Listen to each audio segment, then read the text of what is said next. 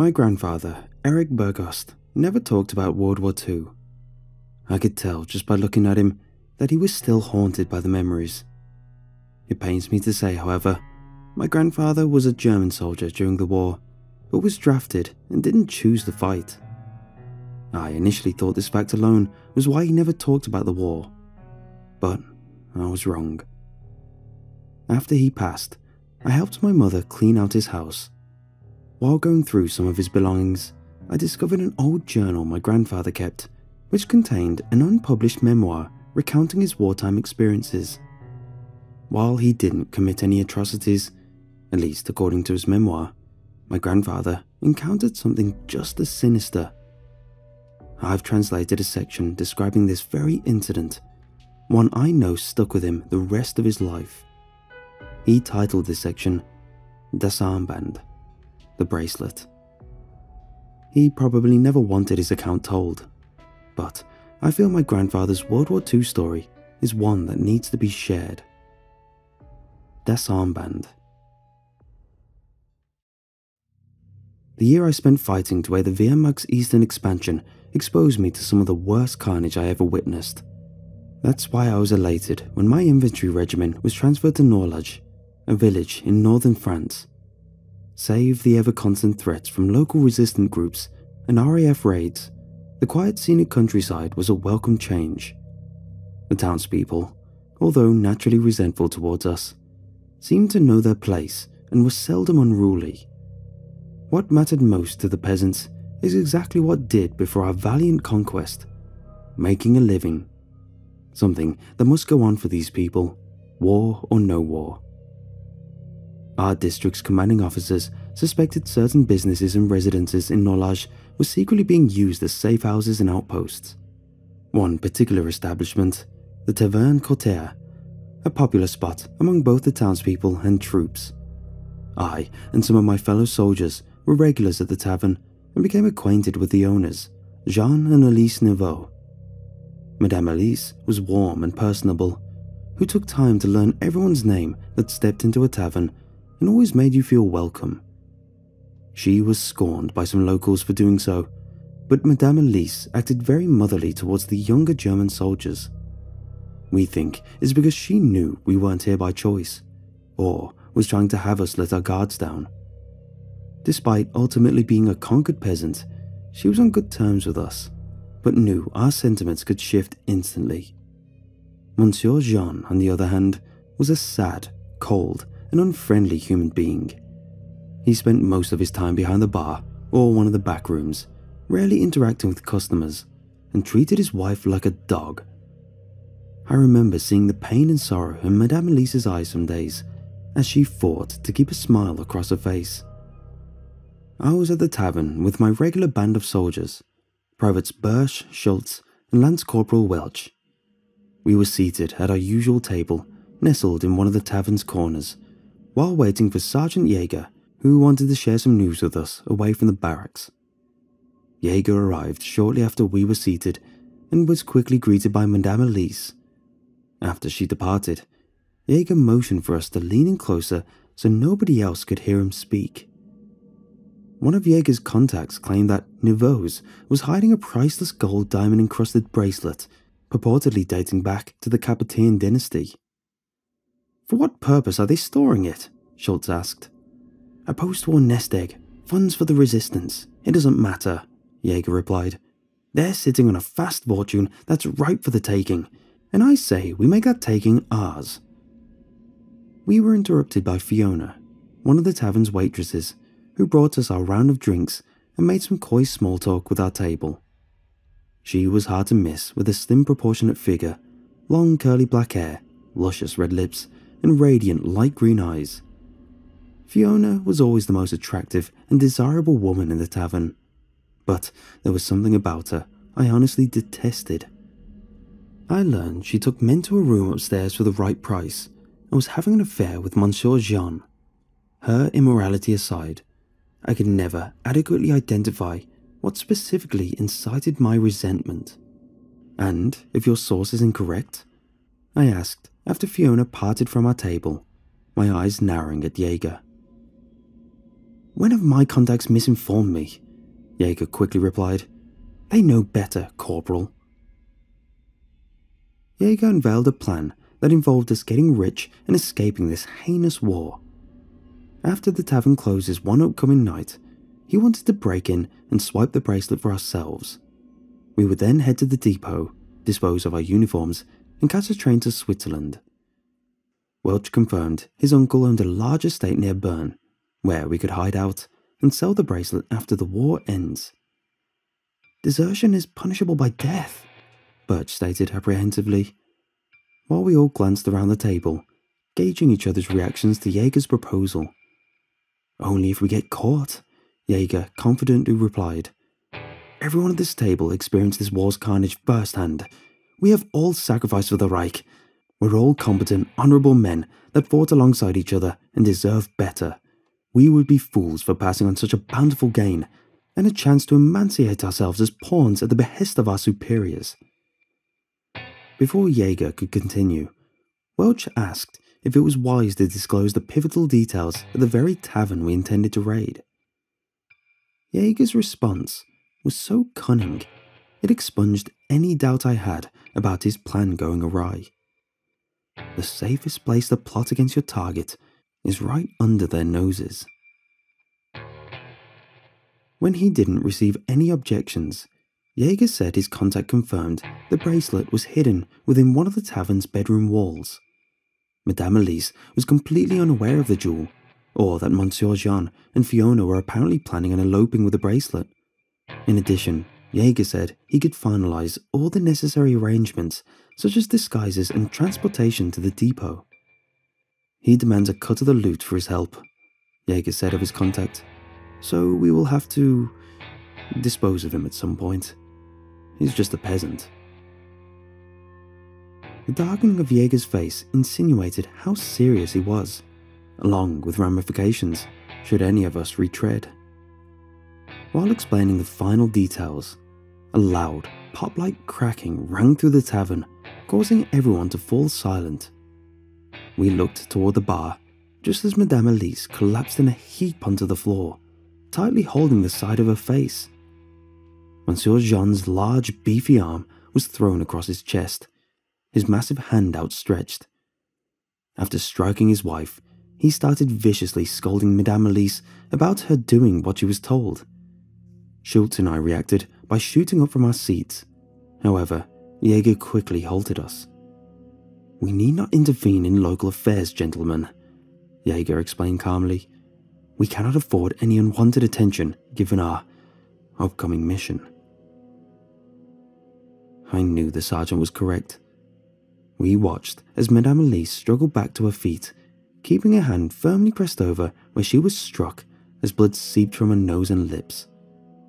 She fought back tears before fleeing into the kitchen, after which Monsieur Jean stomped into the back room. I fought to contain my escalating anger when I saw Fiona giggling, who was genuinely amused by what just happened.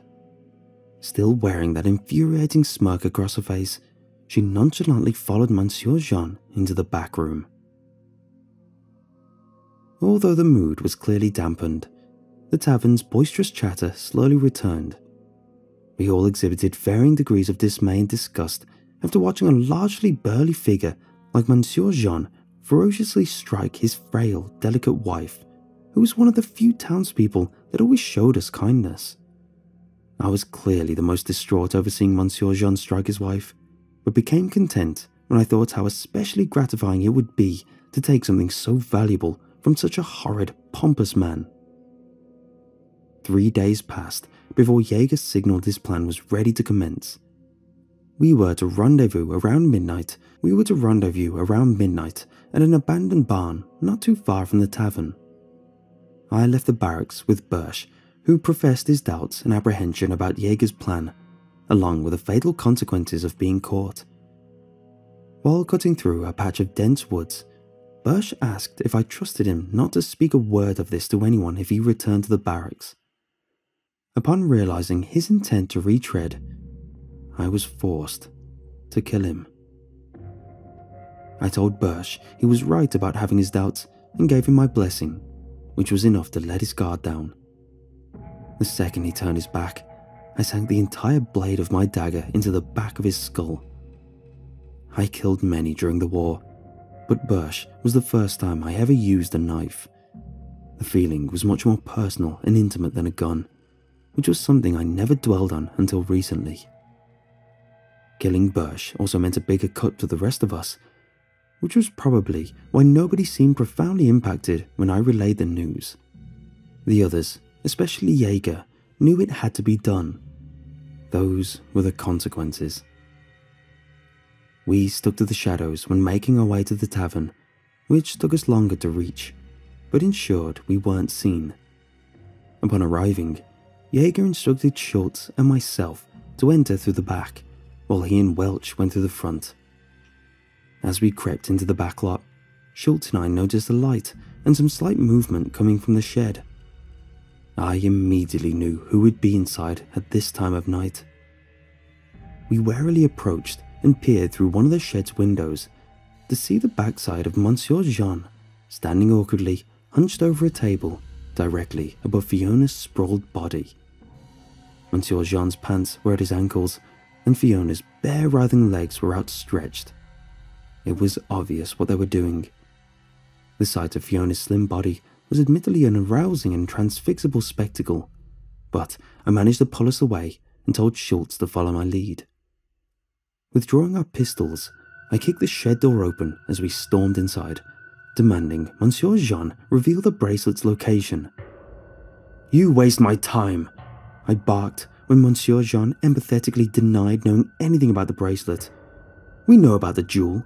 Need I remind you, all arts and riches are property of the Fuhrer, you stand in contempt of those laws by withholding such valuables. Tell us the room where you conceal the treasure, and you will be left unharmed. Outraged at our unprecedented entry, Monsieur Jean became imprudently aggressive.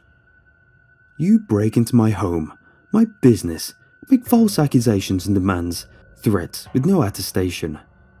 Monsieur Jean barked while frantically pointing at me. His growing anger, disregard for authority, and sense of control Monsieur Jean arrogantly seemed to believe he had reignited my hatred and boiling fury.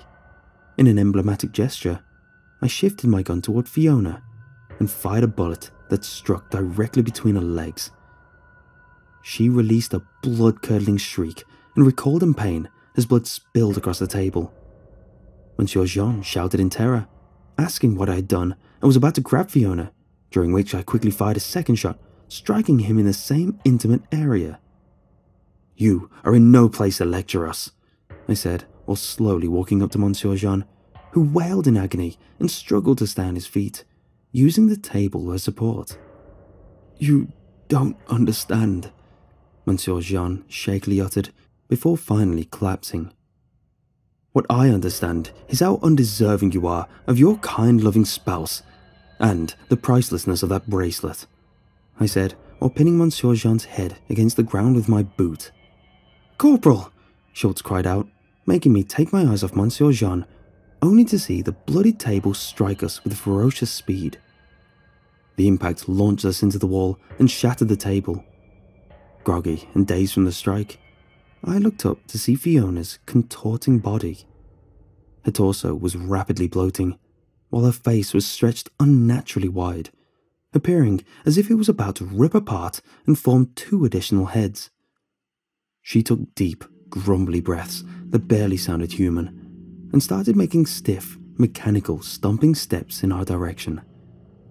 Before I could retreat, Schultz rose to his feet, brandishing a metal pole, and he released a frantic battle cry and blindly charged toward Fiona, who instinctively grabbed the pole when Schultz attempted to swing. Clenching his neck with her other hand, she lifted Schultz's struggling body, her tightened grip crushing his windpipe and reducing Schultz's screams to a faint, hiss like gargle. Trapped in a fear induced paralytic trance, I watched Fiona clench the skin beneath Schultz's chin and slowly peel the layer off his face. Schultz's limbs squirmed and twitched until his entire face was torn off, after which Fiona proceeded to savagely tear off his arms and chunks of torso. I finally managed to utter a no that caused her to drop Schultz's dismembered body. As I raced my feet, Fiona's morphing head looking upwards and made a twitch like gesture, which seemed to snap the wooden support beam running across the ceiling in two and bring down the shed's entire roof.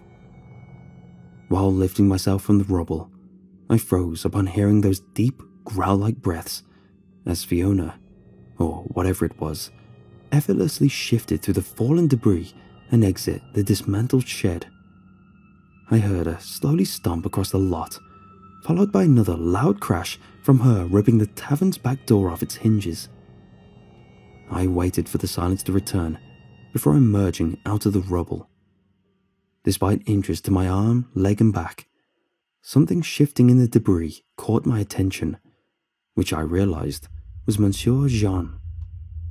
The wooden beam impaled him through his abdomen. Blood splurted from his mouth and smashed nose each time he attempted to exhale. He clearly didn't have much time left, but wanted his last words to be heard. I loved my wife. Monsieur Jean weakly gasped in between bursts of bloody coughs. I had no choice but to bind myself to that evil, that incarnation, for my beloved Elise's sake. Monsieur Jean spent his final moments describing the morbid pact he was forced to make. Two years ago, Madame Elise was severely ill and on the brink of death. The entity first appeared before Monsieur Jean in the form of an elderly man herding a bull and ram while he was walking down a nearby country road one night. After affirming its vile nature, the being said it knew Madame Elise was in grave condition and made a proposition. She would be cured of her illness if Monsieur Jean adhered to the being's will. When he reluctantly agreed, the being made Monsieur Jean swear a blood oath that officially bound him to the entity, who said it would return in a different form. It reappeared at the tavern 30 days after Madame Elise's recovery in the form of a seductive, beautiful young woman. The being said Monsieur Jean willed it to exclusively unleash his bodily fervours.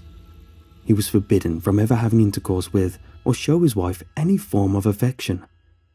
Passing it as the waitress we all knew as Fiona, Monsieur Jean catered to the entity's malicious depravity for over two years while being painstakingly forced to neglect his wife. When I asked Monsieur Jean the being's name, he fearfully uttered one word Asmodee.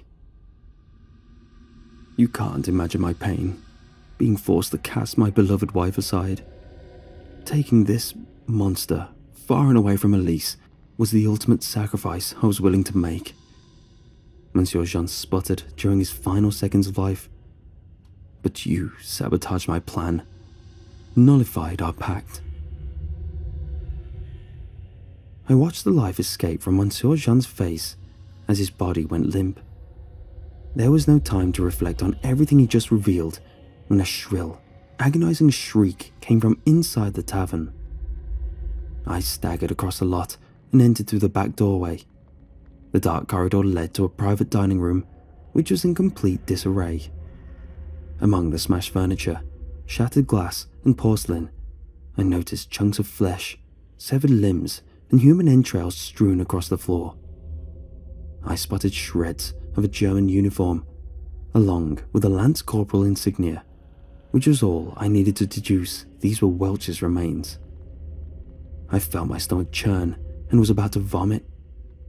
When I turned to leave the room, the door I came in from slammed shut, replacing my nausea with panic when it wouldn't open. I turned back just in time to see the door leading to the tavern's front door slowly creak open. I cringed as I slowly crept across the room, each of my steps signified by the crunching of glass and porcelain shards across the floor. My limbs were shaking as fast and uncontrollably as my heart's beats. I slowly entered the front room, which was barely illuminated by a pair of overhead lights and a glass lantern on the bar. Almost every table and chair were also overturned or destroyed. I drew up my pistol and torch, pointing both in the same direction, despite my frantically shaking hands. The torch's light revealed a macabre scene. One of the servers' bodies lay slumped in the corner of a narrow, L shaped staircase leading to the tavern's second floor. A gaping void was where the body's face should be, and her uniform's white button down shirt was blooded and littered with deep tears while her entrails were spilled across the staircase's platform.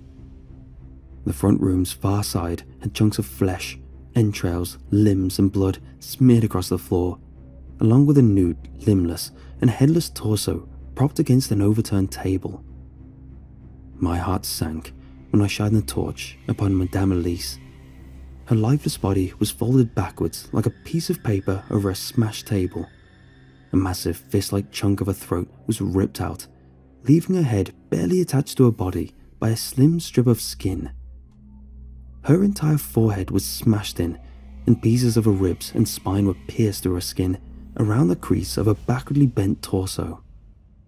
I could still make out the welt on her face from where she was struck by Monsieur Jean, who I now know was trying to protect his wife.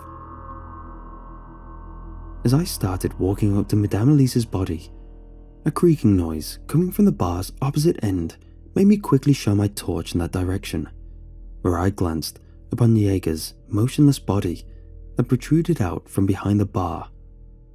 He lay next to the kitchen doorway, along with a pair of legs from what I thought was another corpse but realized they belonged to Jaeger, whose body was ripped in half. Between my smothering lightheadedness, rapidly beating heart, and violently churning stomach, I was on the brink of succumbing to the unfathomable surroundings when I noticed something glimmer in Jaeger's hand. The bracelet. I cautiously retrieved the jewel from Jaeger's rigid grip and thoroughly inspected it with my torch. Aside from the blood coating its surface, the bracelet was smooth, flawless, and lined with a half dozen diamonds that were at least three carats. The bracelet had a small engraving that read Capet, 1752, with the family's signature insignia of a shield with three fleurs. The bracelet was undoubtedly genuine, which made me forget where I was for a brief second.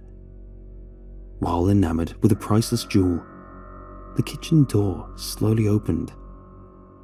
Those deep, grumbly breaths broke the timid silence. Looking up, I stumbled backwards and fell to the floor as my widened, terror filled eyes comprehended the fearsome entity towering over me. I saw Asmodee in its true form. The nude being stood nearly seven feet tall and had a bloated, chunky torso of blotchy, pale, reddish peach skin. His chunky neck supported three conjoined, skinless faces one of a ram, the swollen face of a man, and a bull, all containing blank, glazed expressions in their black, beady eyes. The demon stood on two slim, bird like legs with thick, sharp talons and filled the room with a piercing odour of decay and sulphur. Unable to take my eyes off the being, I watched it curiously cant its head while I was observed by its three contorted faces.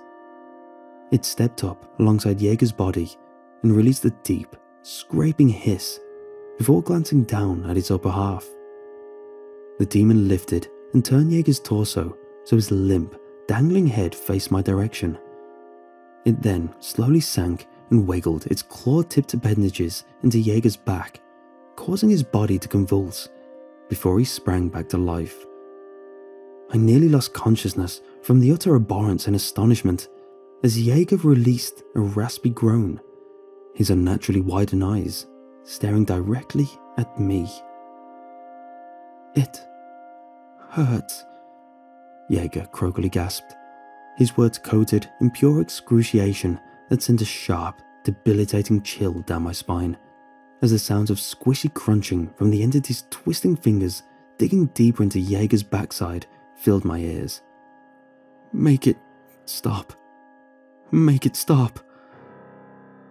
Jaeger's words quickly transitioned into a constant, elongated moan that escalated into a sharp, agonizing scream.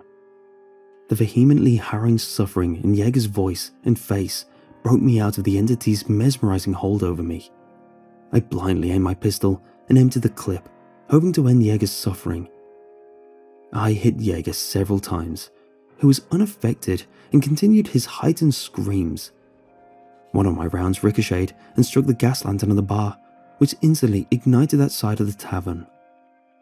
In response to my shots, Asmodee grabbed the top of Jaeger's head with its spare hand, tearing off and crushing his entire forehead like a crumpled piece of paper. Jaeger's screams persisted until the being pulled its fingers from Jaeger's back, in which the life once again vacated his body. As the fire spread, I tried crawling across the front room, but heard the demon quickly close in on me with his thumping steps. The being lifted me off the ground and turned my body so my face was mere inches from its three. The abomination uttered three words Sanguinum tempus veniet in a sunken, gravelly voice before flinging me through the back room door. The impact dazed and made me too disoriented to move. My blurry vision faded in and out as the fire's glow intensified, making me certain I would burn to death. Right when the flames became visible from where I lay, I heard voices speaking in German and saw three blurry figures burst into the tavern. They were German soldiers that raced over after hearing the commotion and dragged me out in time. When questioned about what happened that night, I claimed to barely remember anything, but stated we were ambushed by resistance fighters. The war didn't last long for me after I recovered from my injuries. I was placed in a new regiment, but was captured by Allied troops shortly afterwards and put in a POW camp. For me, this was both a blessing and a curse.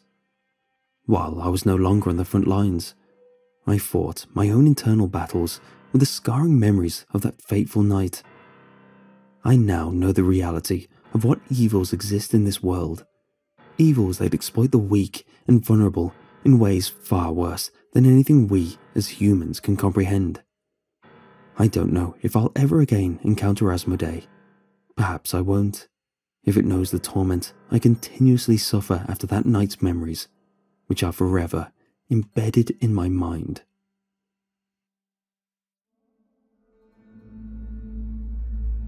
My grandfather drew detailed sketches of the demonic entity and bracelet in the journal, which were as chilling as they were captivating. When I went to show my mother the memoir's translated excerpt, she happened to be going through the contents inside my grandfather's safety deposit box. I think you'd like this, my mother excitedly told me before I could say anything and handed me a worn manila envelope. There was no mention of it in the will or anywhere else, but it seems like something of your grandfather's that you would cherish. A sharp chill ran down my spine when I opened the envelope and immediately recognized the item inside. The bracelet, the very one described in my grandfather's memoir.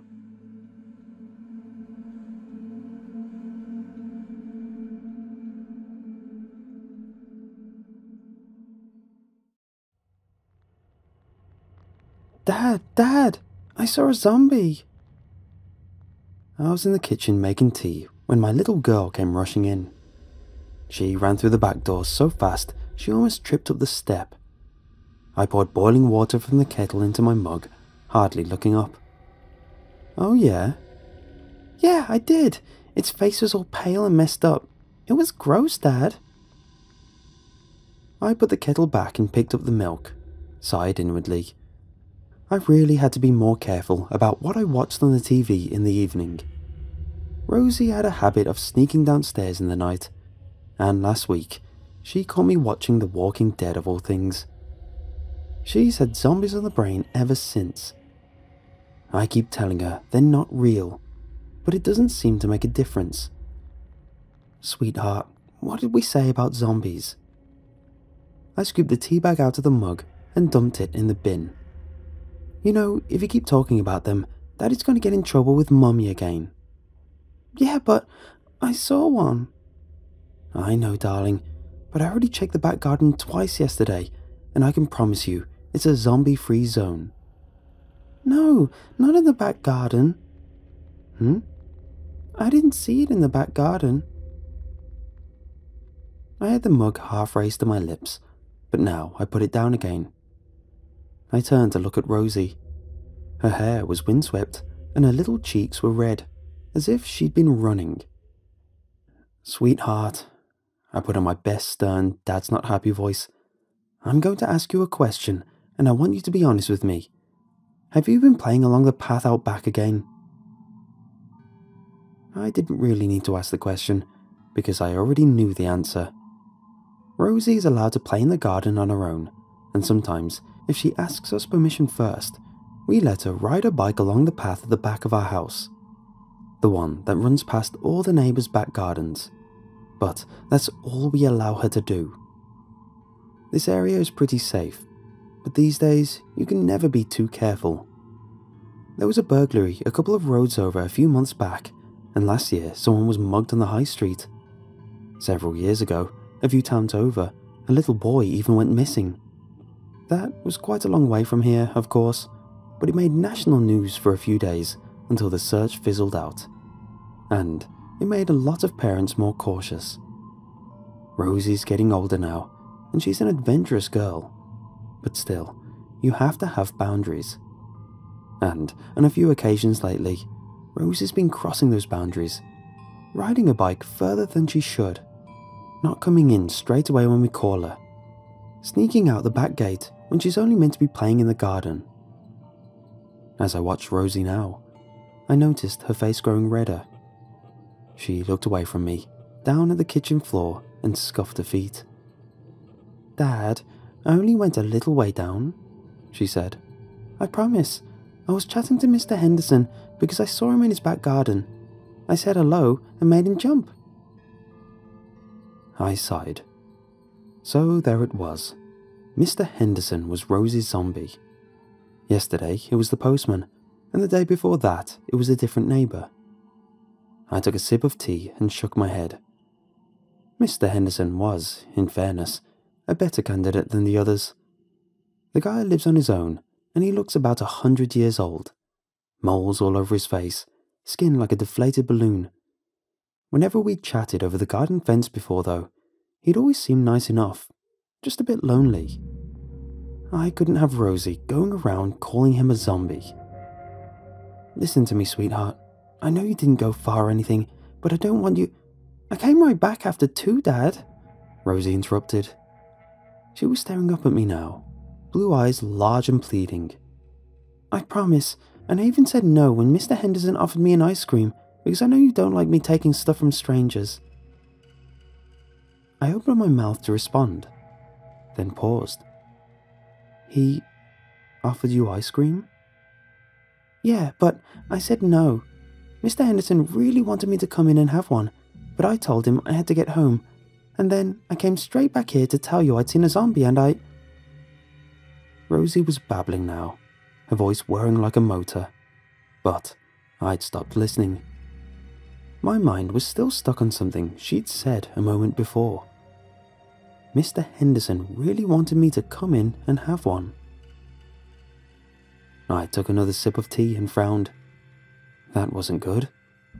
I didn't mind the neighbours chatting to my little girl, but I didn't like the thought of them inviting her in. Not without us there. Not even if they were just kind, lonely old men. I made up my mind to go round and visit Mr. Henderson later, and to tell him that myself. Kindly, of course, but firmly. In the end, though, I didn't get a chance. Because a few moments after I'd had the thought, Rosie said something else. Something that pushed everything else from my mind and ended any idea I might have about going over to Mr. Henderson's house. She said something that made me feel cold. Daddy, please don't stop me playing in the garden. I promise I won't sneak out again. I don't want the zombie to get me. Rosie, I'm not going to stop you playing in the garden, but you have to make me a couple of promises too. First, Promise me you'll stop going around calling people zombies. Mr. Henderson may be old, but he's not one of the living dead. Rosie frowned.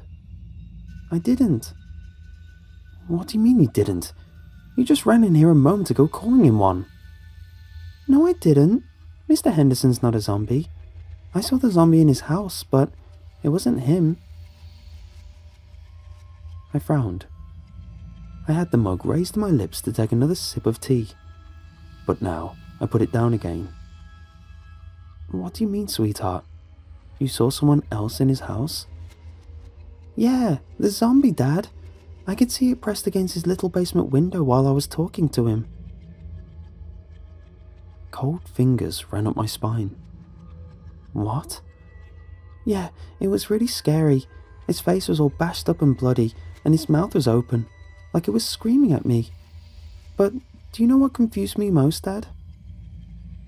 I tried to keep my voice steady. What? Well, I didn't realize kids could be zombies too. I thought it was only grown ups, but I guess I must have been wrong, because the one in Mr. Henderson's basement looked just like a little boy.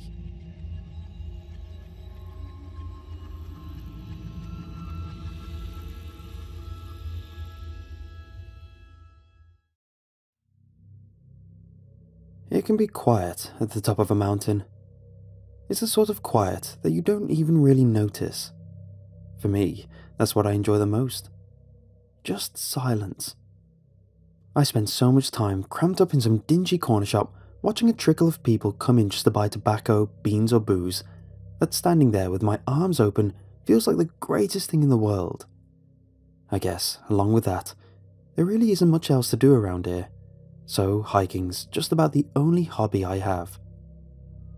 It's been months since I last went up there though.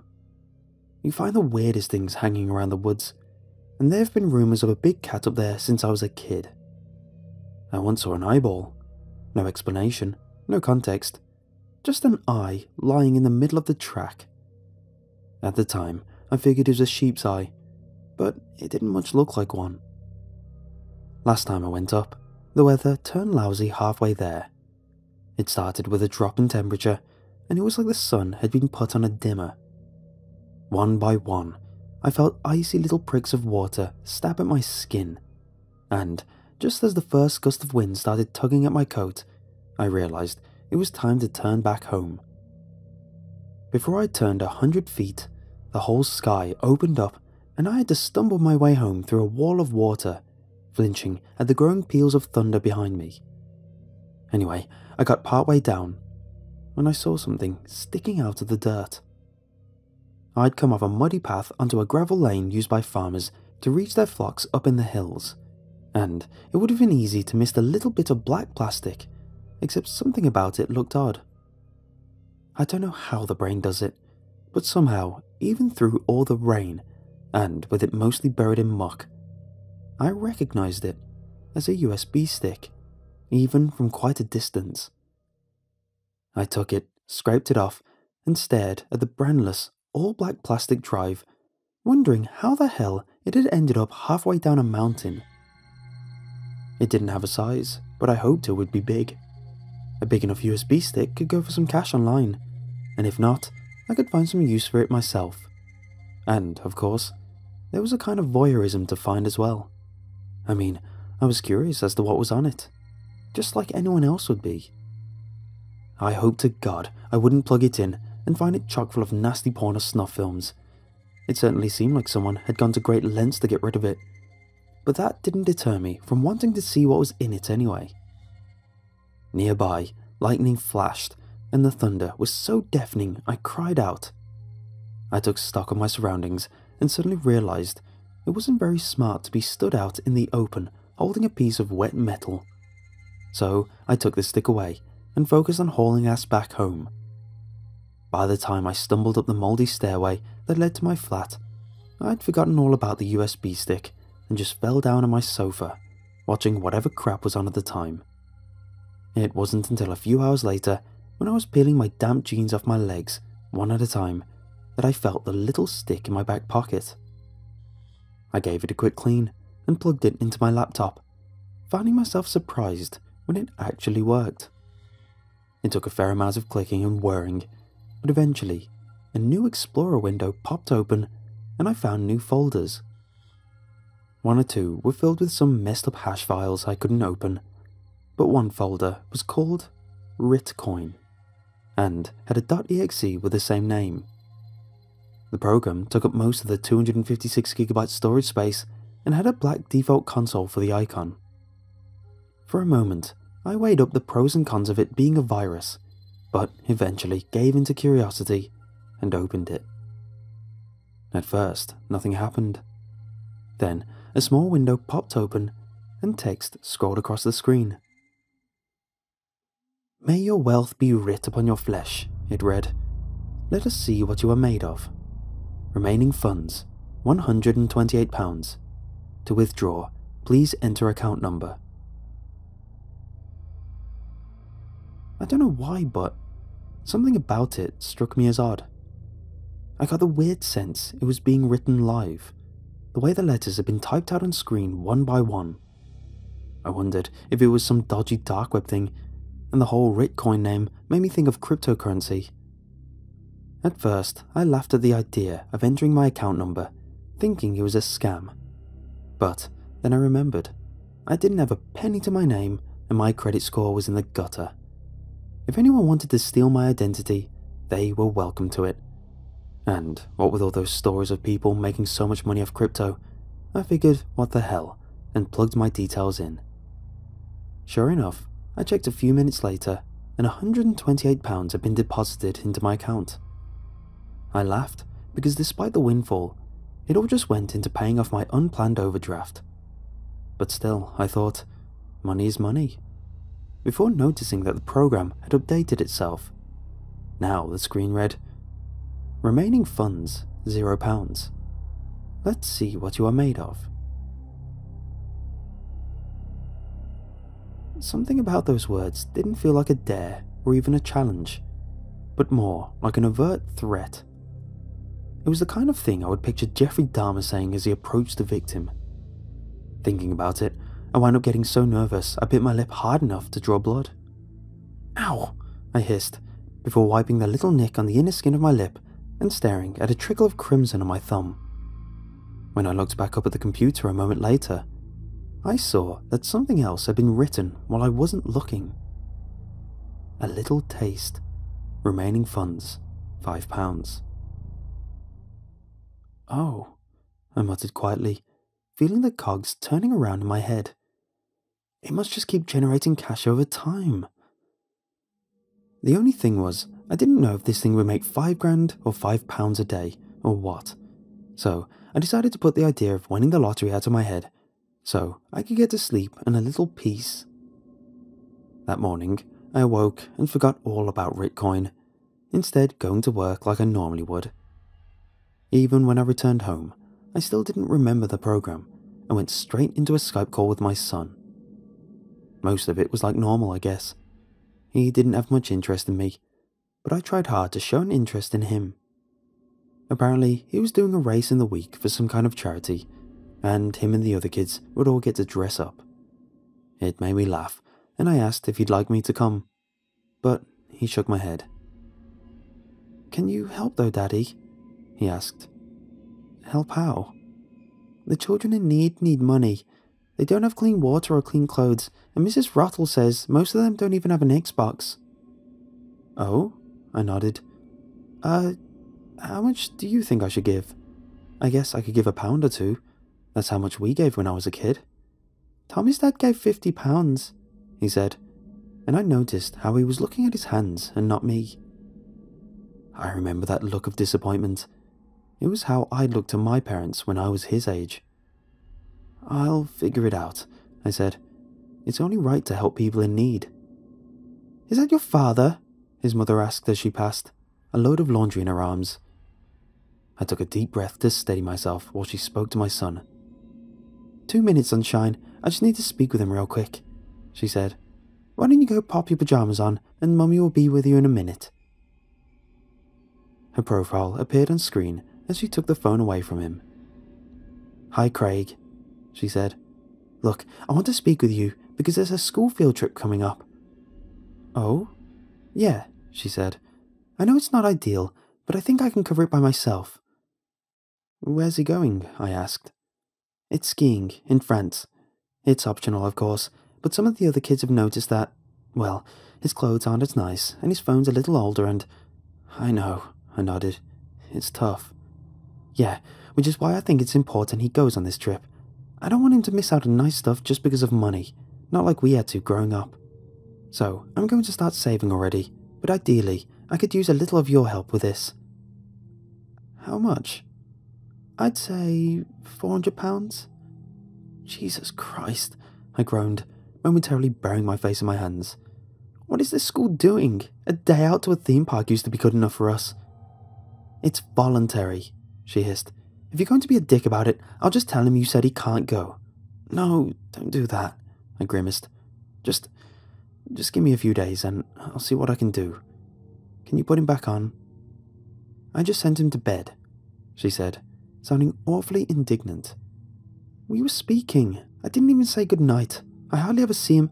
Jesus Christ, Craig. He's going down for the night. Do you want me to go wake him up just so you can feel like a real. I hung up there and then, ending the call and feeling my skin momentarily flush red with anger. After a few steady breaths, I returned to my laptop, the memory of Ritcoin suddenly large in my mind. Eagerly, I waited for my laptop to wake up while I foolishly let my head run away with thoughts of having it made me thousands and thousands of pounds. Remaining funds Five pounds, it flashed. Damn it! I screamed in anger, slamming my hand down onto the desk. So much for the goddamn money tree. What a thumping good time, the screen flashed, each letter appearing with great deliberacy. Remaining funds, £25. I sat there for a moment, soothing the underside of my fist, wondering what the hell it meant. My laptop didn't even have a webcam, so it wasn't like some hacker could see me. For a moment, I told myself it was a coincidence. But I couldn't stop myself driving my thumbnail into my palm in a bid to calm my thoughts. Even as I did so, the screen updated. Hardly a deep impression. Remaining funds £25 and 5 pence. Oh my god, I muttered, and like a light bulb going off, it hit me. I slammed my hand back down onto the table, immediately regretting it when the now bruised flesh struck wood for a second time. I cried out louder than before and cradled my throbbing hand while the screen updated again. Let's avoid repetition. May your wealth be writ upon your flesh. Let us see what you are made of. Remaining funds £30 and 5 pence. Okay, I muttered, speaking to myself, and then, without thinking, I started muttering, 400, 400, 400, 400. I took my other hand and went to hit the table once more when I took further notice of the warning. Let's avoid repetition, it had read. Something about it made me nervous, and I started looking around the room for other ideas. 400, I muttered, again and again as I scanned the empty takeaway boxes and piles of dirty laundry. I so desperately needed the money, and I couldn't stop myself thinking of whether I could use the program to make thousands, maybe even tens of hundreds of thousands, so that I could escape my hellhole flat. But nothing was forthcoming. So I returned to the table and did the next thing that came to my mind. I headbutted it. But, like an idiot, I wound up half hesitating at the last moment which just meant I sort of lifted my face up a little bit before inertia carried my skull the rest of the way down. In one swift move, I avoided slamming my forehead onto the table, and instead slammed my face into it. Ah, Christ! I groaned, immediately craning my smashed nose. My mouth filled with the acrid and metallic taste of blood, and already I could feel one of my lips starting to swell. The whole thing had hurt about ten times more than I imagined and I worried if I'd end up walking around for weeks looking like I'd been mugged. But at the same time, I couldn't stop myself from taking a peek at the laptop screen. Face up to the challenge. Remaining funds £140, 5 pence. For the rest of the night, I stayed up wondering about the rules of this little game. I wondered if I could put a thumbtack in my shoe and just slowly accumulate pennies throughout the day. I wondered if it paid more for blood, pain, or just injury. What about disease? Thing is, it's hard to injure yourself in constantly new ways. I tried a few other little things, jabbing myself with a fork, kicking the chair leg to stub my toe, and found that this thing hated repetition. I needed to keep it new and fresh. I even nicked myself with a small razor with the bathroom door shut, and found it still, somehow, knew what I was doing. It only earned me a fiver, but every little helps, right? It took me another three days to get the £400 I needed, and it was a painful few days. I didn't want to do anything that would be permanent, so I took my time, thinking of what to do, and while I absolutely hated it, messing around with knives and needles seemed to be the best bet. Anything that dealt with soft flesh worked well, because I had plenty of spots to choose from, and I figured it'd heal easier over time. Ultimately, I wanted to avoid another broken nose, since not only did it make me look like an idiot, whose excuses never sounded quite right, but also, it bloody hurt. For a long, long time afterwards, the whole of my face throbbed like an open sore. At least when I pushed the safety pin through the flesh between my thumb and forefinger, it hurt, but it wasn't too bad, you know. Plus, the damn Ritcoin went crazy. £100 just for that. A day later, and aside from some swelling and general soreness, all you could see was a tiny little prick on either side of the skin. Little cuts across the surface of my skin helped too. I could definitely tell that this thing had preference for blood and anything sharp. And by the end of the first week, not only had I cashed in enough money to send my kid on that skiing trip, but I'd banked an extra £1,200 on top. That wasn't enough to pay off my overdraft and get myself back to square one. I knew it'd take a few months before I had any chance of getting my credit score up. But who cared? So long as I paced myself, I had a practically limitless source of cash. I even tried posting on a few online boards to see if anyone knew about Ritcoin, but nobody did. I was hoping that maybe someone out there knew about the specific rules. Figured that if anyone could game the system, it'd be some smart bugger on the internet. But no one knew what I was on about, and one or two people DM'd me offering me links and different resources to help with self harm and mental illness. The only time someone offered any real help was when some guy told me to look up Derek Little. Apparently, this guy was some anti capitalist anarchist or, well, you know, some political position with a lot of dashes. The gist of it, though, was that he was a proponent of using decentralized currency to upset mainstream government. He saw himself as some kind of revolutionary. There were only one or two lines about him on various websites, usually citing him as a kind of offhand source. All in all, there was very little about his life. Most of what I saw was actually focused on his death. Nobody knew exactly what had happened, but there was a weird popular copypasta about a cop who found Derek dead in his apartment after receiving complaints about the smell. It was posted all over various chans along with the same few grainy pictures. The images were, well, they were shock porn, I think. You know, like those websites you share with other kids when you were 14 for a laugh. Waffles of a certain colour, citrus based parties, etc., etc. I mean, I have to assume that's what they were because well, if you saw it, you'd understand. Apparently, this cop walked in on this half rotten corpse only to realise that the victim had been going at their whole body with a potato peeler, leaving bits of themselves floating around in the water like some kind of punch bowl. Original description said Derek had weighed 300 pounds before his death, but when the coroner had weighed him, he had cut about 190 pounds away, slither by wafer thin slither, all of which had to be bagged up and put aside. Anyway, the final twist of the story was that the corpse later went missing. It all sounded like BS to me. Even if I did know next to nothing about cryptocurrency, I still couldn't figure out how the hell it connected to Ritcoin. Sure, even at the time, I found looking at the slimy red faced figure huddled in the bathtub, cradling their own legs like a fetus, gave me an uncomfortable pang in my chest. But I didn't want to think about it. Not really. Even as the various wounds on my hands and arms started to throb in sympathy at the raw, glistening sight of his exposed flesh. I ignored the anxiety and exited the window, and told myself that whatever else happened, I was still in control of my actions and I could easily get the better of whatever hell this thing was. So I kept at it for another week or so, even when some of my cuts started to get infected. I noticed that, at the very least, the Ritcoin account started making me a few pounds for each hour I was unwell. I guess the problem was I started to run out of room, or rather, I got a little unimaginative and started letting some of the scars bunch up. By the time I realised it, I was too late. Infection had already set in and my inner palm looked like the pitted flesh of a pomegranate. God damn, it hurt like hell too. Every inch of my skin felt too tight or too cold.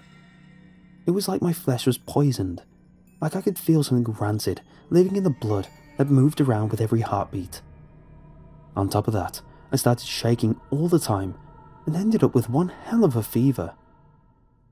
I still don't know if Ritcoin paid out for being diseased or in pain, but to me, all that mattered was that it paid. You see, I'd gotten a figure in my head. It wasn't going to revolutionize anything, but if I got enough cash, I could move out to my flat and live closer to my kid. I stopped withdrawing money out of Ritcoin and let it build up instead, which was just as well, really, since by the end, my fingers were so swollen I could barely even type but I guessed I could just figure that out when it came to it. Even the pain had started to wane a little. I think it was because I started to associate it with the payout, maybe. I can't say.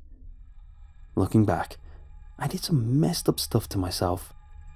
The worst was when I noticed my hand was so thick and fat, it looked, well, it looked poppable, for want of a better word. So, I took this sewing needle laid it out vertically in my palm so it was pointed between my two middle fingers.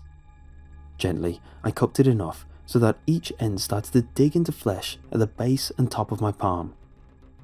I stayed there for a while, just gently squeezing and relaxing my hand, needling away at the flesh until blood as thick as honey trickled down my wrist.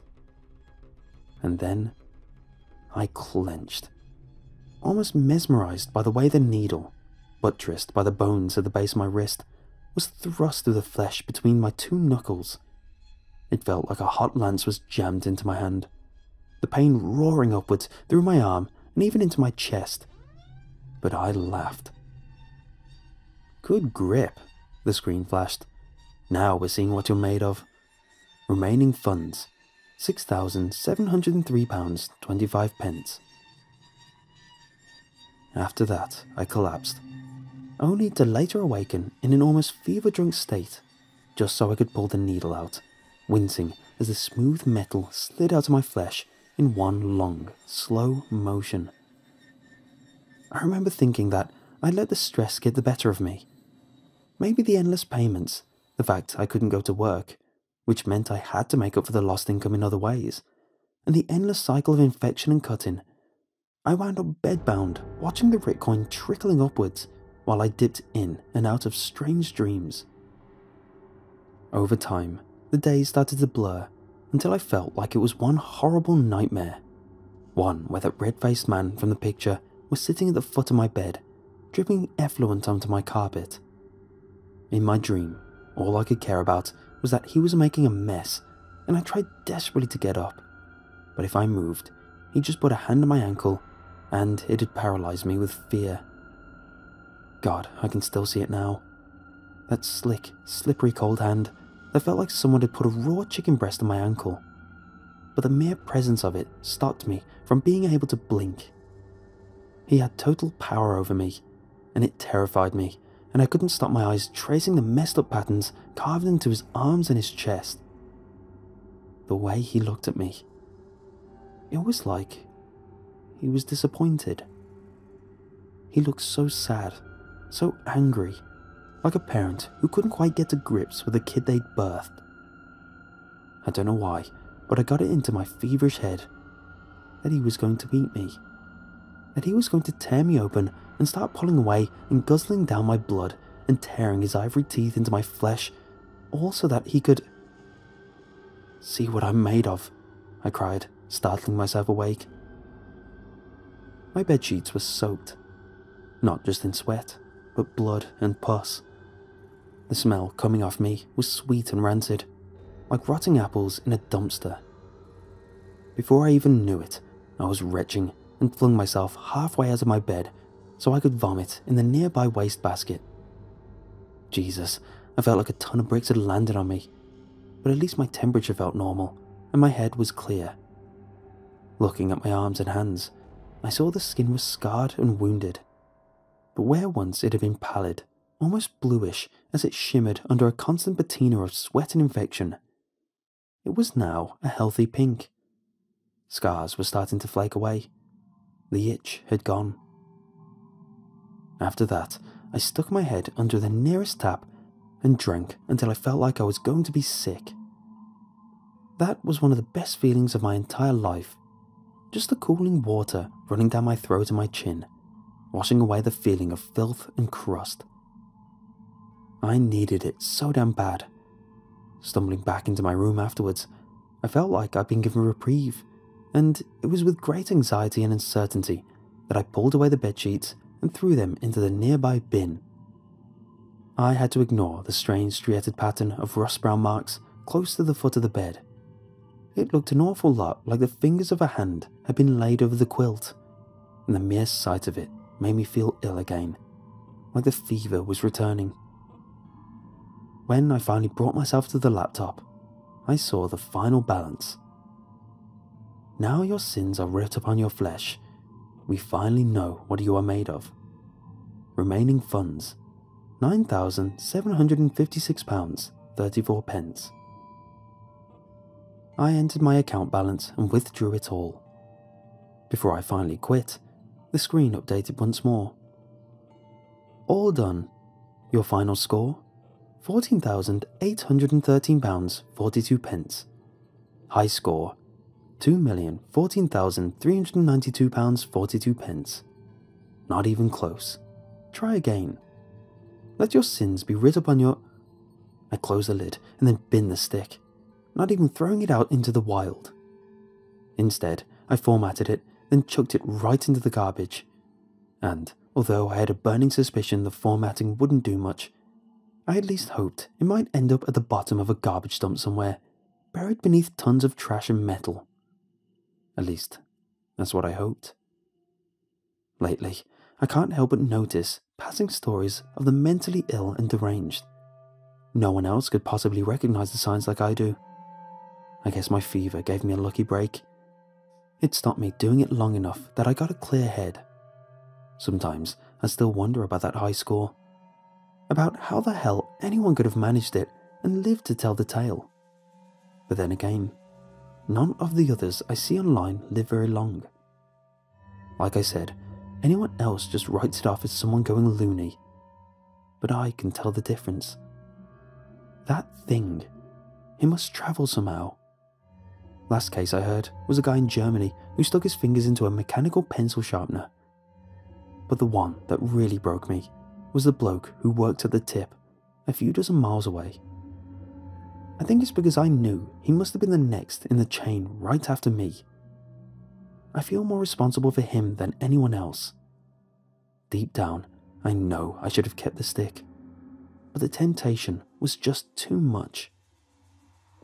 The last thing the guy said to anyone before peeling away chunks of his belly fat with a piece of rusted metal was, Let's see what I'm made of.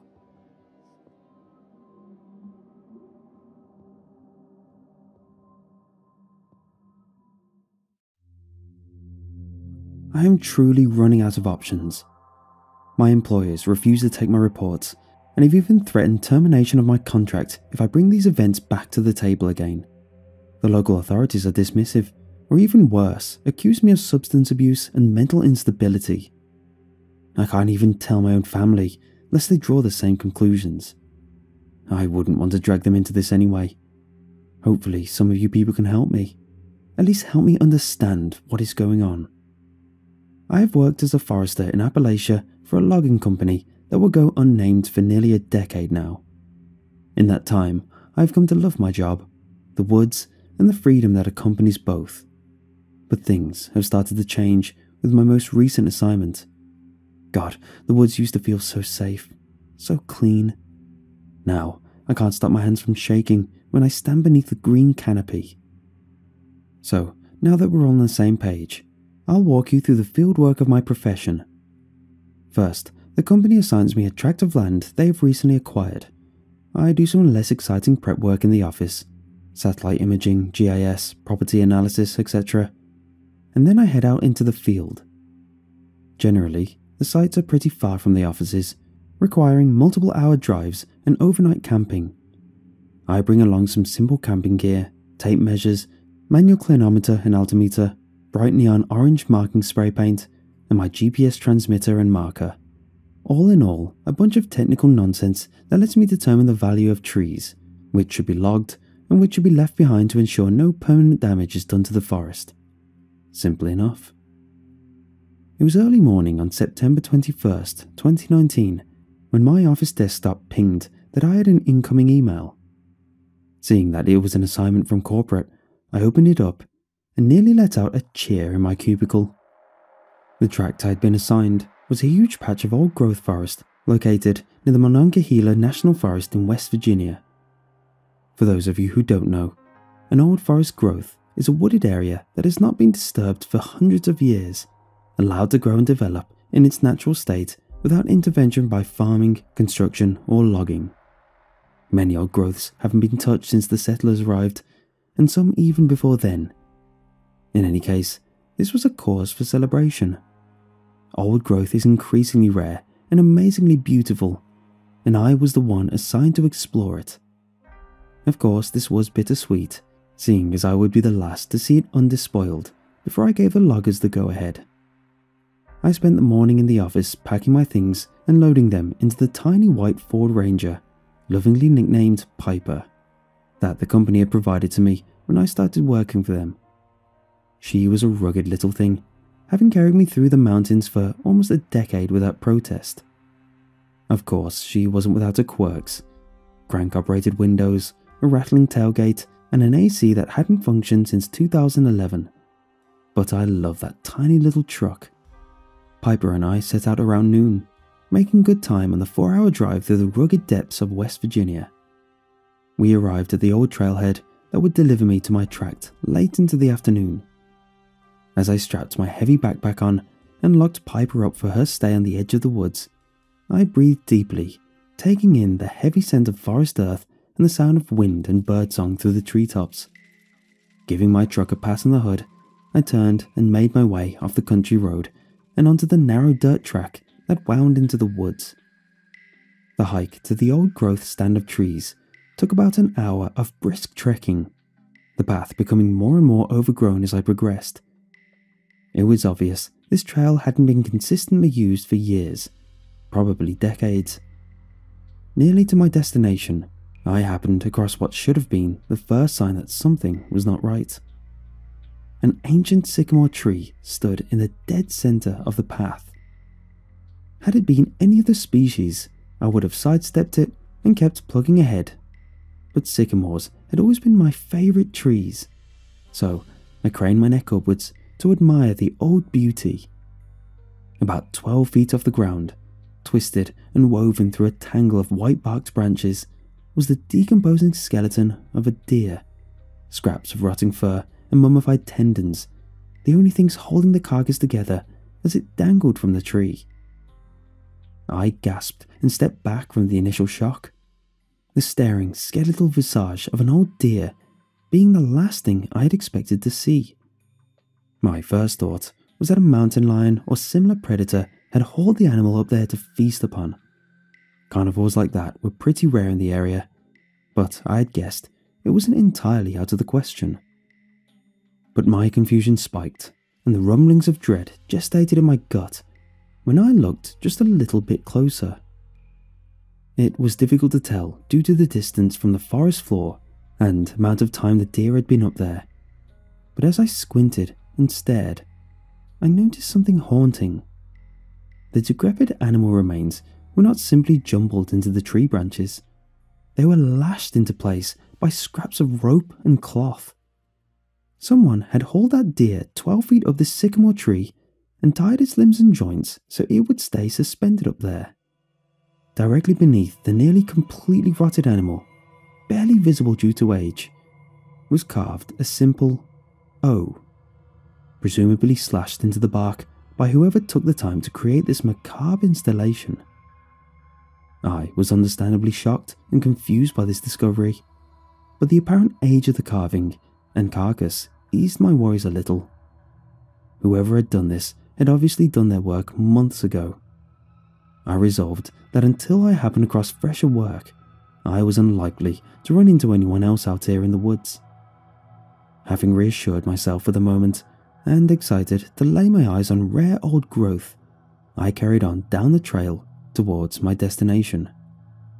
I reached the edge of my assigned stand around 6:30 that night. The old, ill-maintained trail terminating in a small clearing in the border of the forest I'd hiked through, and the secluded acres of the old growth that waited beyond.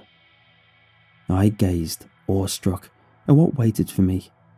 Ancient gnarled tree trunks that soared stories high, capped with dense foliage that cast the groves in a placid twilight. One of the defining features of old growth is a lack of an understory. Smaller plants choked by sunlight by the canopy above. This means that you can see much further than you could in a different forest, where brush and vines might block your view. In the old growth ahead of me, I could see deep into the canopy shaded woods, darkness enveloping trees that grew in twisted and gnarled shapes, ancient beings shaped by countless years into warped and beautiful lines. I was nearly overtaken by the sight, a view that so few people are able to look upon in this modern age. Even though I was nearly shaking with excitement to explore the acres large stand of forest ahead of me, I knew that daylight would not last much longer. I would have to push off starting my work until the next day, working quickly to pitch my tent and create a small stone ring to act as my fire pit before nightfall overtook my new campsite. That first night on the edge of the old growth was quiet. As I lay tightly wrapped in my sleeping bag, Staring up through the vent net in the roof of my tent towards the stars above, I heard almost none of the sounds one might expect from camping deep in the woods. No night birds called, no insects buzzed. The only sounds were the rushing of wind through the leaves, and once, the mournful sound of an owl hooting somewhere within the ancient grove beyond my camp. I sat there awake in the eerie silence nearly the entire night, partially perturbed by the quiet but mostly entranced by the beauty of the starlit sky and filled with excitement for the day to come. I eventually drifted off to sleep around 2 a.m. At 5:30 in the morning, I was awoken by the electronic chirping of my watch alarm, signaling the start of my day. Groggily sitting up, I immediately regretted not forcing myself to sleep earlier.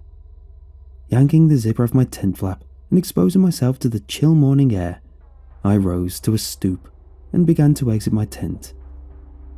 As my head left the tent, I stopped, dead, frozen, and staring.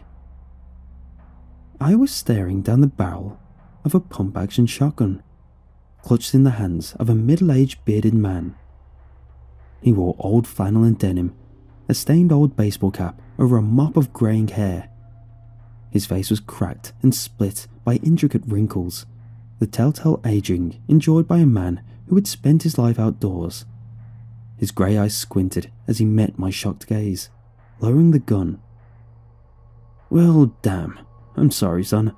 Didn't expect anybody. What the hell do you mean you didn't expect anybody? I asked, anger boiling to the surface as the shock of surprise ebbed away. You walked into a campsite at five in the morning. Why wouldn't there be anybody here? His gnarled face didn't change from his stony demeanour. Look, boy, I said I was sorry. No harm, no foul, right? He shrugged nonchalantly, irritatingly dismissive of the fact that he had a loaded gun pointed between my eyes mere moments ago. He slung the weapon over his shoulder and extended a hand to help me out of my tent. Most tents you find up here are empty, it took a moment for what he had said to sink in. What do you mean? Like people come up here to dump their trashed old equipment? disappointment began to brew as the thought of the old growth filled with trash entered my mind. Nah, son, nothing like that. Just exactly what I said. The tents you find up here are always empty. The name's Randy. Randy Davidson. This plot belonged to my grandpa, and his grandpa before him. His West Virginia drawl was thick and slow as he gestured towards the old growth stand. Before Grandpa sold it to the National Forest folks, eminent domain and whatnot.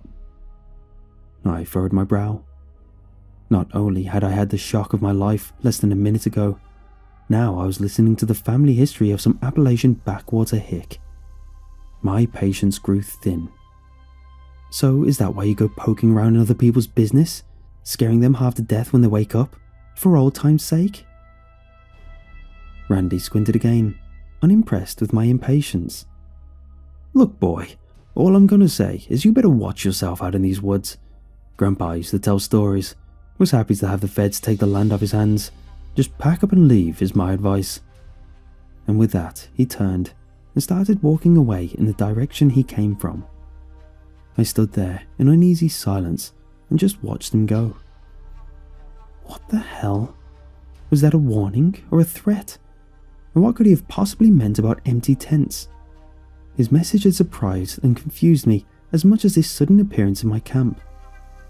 The early morning light grew brighter, and the mist that clung to the ground burned away as I gathered my things and prepared for my first foray into the old growth stand. I nearly inhaled my breakfast, excited to start my work. Then, pack filled and secure, I stepped beyond the edge of the grove. The old growth was breathtaking. Ancient gnarled trees surrounded me as I walked, dark, twisting shapes disappearing into the shadowy canopy high above. No underbrush cluttered the ground, just stoic old boulders and thick sheets of soggy moss. The dense cover of leaves above cast the entire huge stand in the eerie pall of cool shade. The heavy scent of loamy earth and wet wood filled my nose and lungs. Pristine silence filled the forest. I set to work immediately, invigorated by my utterly gorgeous surroundings. The noise I made was the only sound to echo through the ancient woods around me, joining the quiet wind in the leaves above.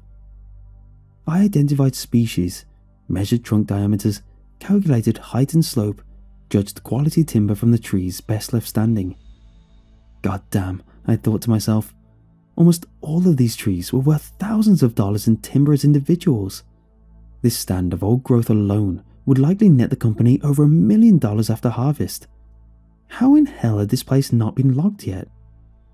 With a metallic rattle and aerosol hiss, I marked the trees that would be harvested with my flagging paint.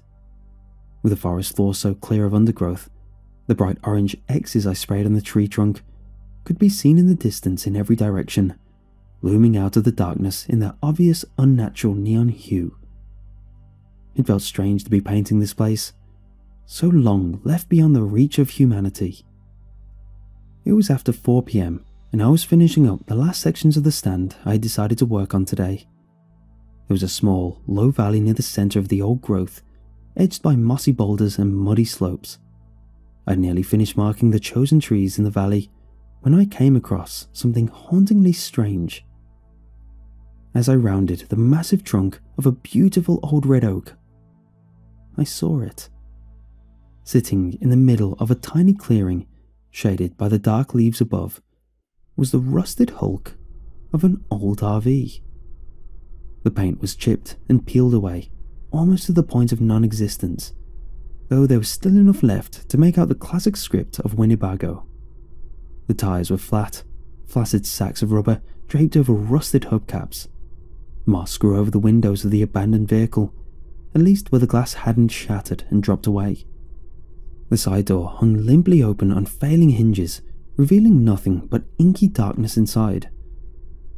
I slowly approached the derelict vehicle, wet moss and leaves squelching under my boots. How did this thing get down here? There was no way it could have driven down the steep slopes of the valley, and there weren't any signs that it had fallen or crashed down here. Besides the ravages of time, the old RV seemed undamaged. I stepped within a few feet of the Winnebago's open door. I fumbled through my backpack and produced my flashlight, noticing that the vehicle was ringed by a thick layer of heavy grey mud. Spurred by curiosity, I clicked my flashlight on and stepped on board the ruined RV through the broken door. As I did so, the entire vehicle let out a wretched moan as rusted springs shifted for the first time in what had likely been decades. I threw a glance back over my shoulder into the forest, suddenly feeling watched. All I noticed through the forest gloom were the neon orange X's I had painted on the trees, pointed at haphazard angles and partially hidden by gnarled trunks.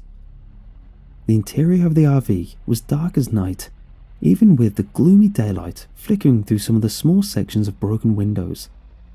The stark white beams of my flashlight cut through the blackness, a circle of vision too small for comfort. Something felt off the moment I was inside. The cabin of the vehicle was almost empty. Driver and passenger seats devoured down to the metal frames by generations of vermin. Crusty lichen encased the steering column. The cup holders held two old metal thermoses. The words number one dad and number one mom just barely visible through the years of sylvan filth that had accumulated upon them. I turned my face to the main living space of the old wreck. Silence thick on the air, and only cut through by the agonized creaks of the mouldering floor beneath me. The built in couch here had suffered the same fate as the cabin seats, devoured by rats and insects searching for a nest. Cupboards hung open near the low ceiling. Cardboard boxes of food within reduced to pulp and slurry by years of exposure. I shone my needle of light across the room noticing the narrow door at the rear. It hung barely ajar, a crack of darkness presumably leading to the RV's bedroom. As I stepped closer, the stench of mildew and wet dirt grew almost overpowering. With the groan of rusty hinges, I pushed the door open. My blood ran cold as my flashlight beam settled on what waited beyond the doorway. Shocked, my breaths came in quick and shallow as I took in the sight. The room held a bed, mattress, and blankets, untouched by foraging pests, but stained a deep black brown by mold and God knows what else. Upon the bed was a heap of clothing, gathered from the suitcases haphazardly left to rot on the floor around the bed. The clothes were stained the same foul shade as the mattress. I could make out at least four distinct sizes of clothing in the pile two adults and two children. The stink of rotting vegetation was unimaginable. My hands shook, bobbing my light as they did so, as I gazed at the top of the pile. Atop the wet heap of mouldy old clothing was the dripping carcass of a deer. Limbs broken and twisted at unnatural angles to allow the decaying thing to be propped in a pose like a man sitting cross legged. Its head was bowed towards me, what was left of the meat blackened by rot and slowing off its skull beneath lichen coated antlers. Its eyes had long since liquefied, dripping down its cheeks in curdled rivulets and leaving empty black sockets to stare into the dark. The cluster of mossy and scattered head bones with the headboard revealed that this was merely the most recent animal left here. The next in a long line of slaughtered deer propped up in this macabre. Despite the dribbling animal wreckage before me, there was no smell of rotting meat, just the singularly wretched and overpowering odour of composing vegetation and decomposing fungus. Acrid vomit filled my mouth and sinuses, and I bolted for the door behind me. As I stuck my head and shoulders outside and prepared to retch, my eyes laid upon a fresh horror. The bright orange of my marking paint, sprayed at haphazard and dissonant angles as I had wandered the valley, all faced towards me in uniform stares. Every X I'd painted down here looked towards me, neon colour cutting through the forest gloom like electric eyes. The remainder of the food left in my stomach, replaced by ice water as I lurched forward and vomited messily upon the mossy ground. Leaning from inside the RV, body shaking with confusion and terror, I hung my head and wiped the bitter puke from my mouth and tears from my eyes. The smell of rotting wood still clogged my nostrils. I stared at the splatter of fresh vomit below me, attempting to comprehend what I was looking at. The steaming bile was collecting in a footprint in the sticky grey mud. My shaky breath rattled in my lungs as I stared. It was unmistakable. Fresh tracks marred the mud that surrounded the derelict RV, a complete circle that stalked around the vehicle. They were deep, pressed into the muck by something big and heavy. The tracks took the shape of half a human foot, the long toes and forefoot evident of the tracks of someone walking barefoot and tiptoeing. Jesus Christ, even the partial footprints were bigger than the tracks I had left. How had something so large moved so quietly around the RV? I hadn't heard a thing from inside. I rose to trembling feet and took a cautious step outside. The old growth was utterly silent beyond my nervous painting. The bright orange X's still stared in my direction. Not a one where I'd originally placed it. Damn it, damn it, damn it, I thought to myself. I stood, scanning the empty forest floor and listening for any sounds that pierced the quiet. Seconds passed, feeling like an eternity. And then I bolted. Blood pounded in my ears as I sprinted through the forest, never once slowing as I made for camp. The feeling of a cold, calculating gaze from unseen eyes never left my back as I ran. I skidded into my tiny camp on the edge of the stand as the sun began to dip in the darkening sky, nearly collapsing with exhaustion as the daylight that filtered through the trees above began to die. As I panted and gasped with exertion, I surveyed my surroundings. My tent and firing appeared untouched since I left this morning. As dusk settled over the forest, my surroundings began to darken. It wouldn't be long until they were as black as the old growth of my back. There was no way I could leave tonight.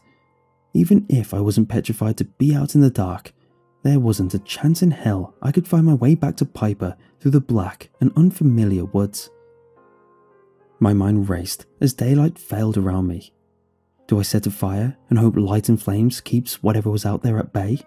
Or do I sit in darkness and pray that I stay hidden in the shadowy and silent camp? There were no good options. My bowels knotted inside me as I fought to keep panic from setting in. Eventually, the primal instincts of my cave dwelling ancestors kicked in. Fire was the one tool that had always served our kind against the darkness and the things that lurked within it. I piled all of my firewood into the ring. I wouldn't need it for another night, and as night fell, the glowing light of my bonfire lit the forest around me, faltering at the edges of the old growth. My camp bathed in firelight. I climbed inside my tent and sealed the zipper shut. I sat silently inside the thin neon shell for hours, listening as the wind made the only sound beyond the crackling of my fire which glowed through the walls of the tent. My hands shook as my spine prickled with nerves, my teeth chattering despite the humid heat that clung to my body, sweat dripping from my brow. I moved slowly to check my watch. 3:30 a.m. Less than 2 hours until the first break of daylight. Less than 2 hours until I could flee this place. I jolted as a sudden snap shattered the silence. The sharp cracking noise emanated not 20 feet from my tent and followed by staccato rustling before deathly silence. My eyes were wide, breath caught in my throat. The quiet, nearly imperceptible rustling came again. Whatever was outside was still there. I slowly grasped the zipper pull with my left hand while fumbling about with my right until it came to rest upon my pocket knife. It was a feeble little thing, barely helpful as a tool for whittling, but as a gift from my dad, it always found its way into my pack. With my impotent little blade clutched tight, I opened the door of my tent, agonizingly slowly to keep the zipper quiet. I crept out into the night, the chill air shockingly cold as it connected with my overheated and clammy skin. The bonfire still burned, though it had run low as the night dragged on. Silently surveying the camp before me, I searched for the source of the hushed sound. Slowly, my gaze was drawn upwards into the boughs of the trees. Two eyes reflected in the firelight, staring back at me. Shock gripped my heart, and it took all of my willpower not to exclaim with fear and surprise. The eyes cocked to the side, as if judging me. With more quiet rustles, the owl shifted on its branch, close enough that the firelight revealed its identity. Relief flooded my body, and I let out a quiet sigh. Then, true terror overtook me as I noticed a huge shape in my peripheral vision. I slowly turned my head, tears welling up in my eyes. It sat, waiting on its haunches, barely six feet away from me, dimly lit by the embers of the slowly dying fire. At first, I thought it was a huge man, a giant living in the woods. But this thing was no human. Never could have been. It sat, nearly curled in a fetal ball, long arms clasped to its scrawny legs and shoulders hunched. Completely naked, its humanoid form was covered in greasy, pale skin stretched taut over knobby bones and joints. Black grey veins pulsed beneath its thin flesh. The thing's elongated arms and legs were triple jointed, digitigrade, like the hind legs of a repulsively malnourished and hairless goat. Its arms ended in hands, each bearing six long and twitching fingers tipped with ragged and blackened nails. Its legs terminated in feet that may have been human, if they were not twisted and deformed to allow the thing to walk on its mud and filth caked toes. It carried an unbearable stench of fungus and compost, but most horrible of all was its face. Atop its spindly neck rested the thing's gaunt head, oily and pale skin reflecting the guttering flames in the fire pit. Its nose and chin were hideously long and crooked, not unlike the jagged and pointed features stereotypical of ancient witches. Its mouth was wide and lipless, flesh balled back to reveal black gums and long, blunted teeth that looked as if they had been taken from a human jaw and stretched cartoonishly to fit this horror skull. Though it had no eyes, it stared intently at the owl in the tree. No, not eyeless. The twisted and hulking creature crouched beside me slowly turned its head to face me. Barely visible white orbs rolled and twitched in sunken eye sockets, bulging beneath a pallid and thin membrane of flesh. The horror stared silently at me before raising a single finger to its lipless and drooling teeth. It let out a quiet, gurgling breath. Shh. Panic set my body ablaze. I scrambled to my feet, dropping my tiny pocket knife into the mud. The owl let out a shrieking protest as it took flight, spooked by my sudden movement. As I stumbled backwards, starting my sprint into the pitch black forest, the thing rose to its feet on tri jointed legs. Good God, the thing had to have been at least seven feet tall, but its body moved without making a sound.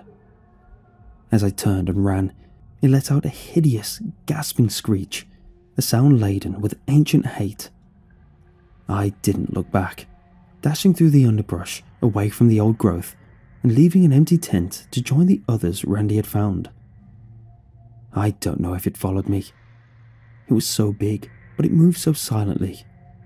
As I ran, I didn't see it, didn't hear it, but the feeling of its gaze never left me. I ran blindly in the dark, whipping branches and bramble thorns slashing my face and hands, seemingly to ribbons. Blood and sweat drenched me, pooling in my hiking boots. I don't know how long I ran. At some point, I must have collapsed with exhaustion, blacking out in the depths of the forest. I woke up in the glaring shine of daylight, filtering down onto my face through the trees. My face and hands were caked with blood and dirt. At least two of my fingers were broken or at least dislocated. Rising on shaking legs, I began my blind trek into the unfamiliar woods around me, hopelessly lost. I walked for hours, likely wandering in circles. My face and hands ached with dull, pulsing pain. The skin on my chest itched and burned beneath my shirt. Finally, I stumbled into the forest trail, old and ill maintained. I couldn't believe my luck.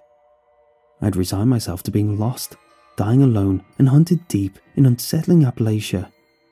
Tears welled up as I hurriedly limped down the path, and I nearly shouted with elation when Piper came into view. Fumbling with my keys, I managed to unlock her and climb inside, slamming and locking the door behind me. As I fired the ignition and the truck started up, the burning in my chest intensified, an awful itching sensation. Grimacing, I quickly set about undoing the button on my shirt to see what the cause of my discomfort was. As I did so, a subtle stench of old vegetation began wafting into my truck. I felt cold eyes staring from the fingers of the woods. I pulled my shirt open, exposing my chest and the source of the itch. Across the flesh of my chest, sprayed there with marker paint, was a bright orange X.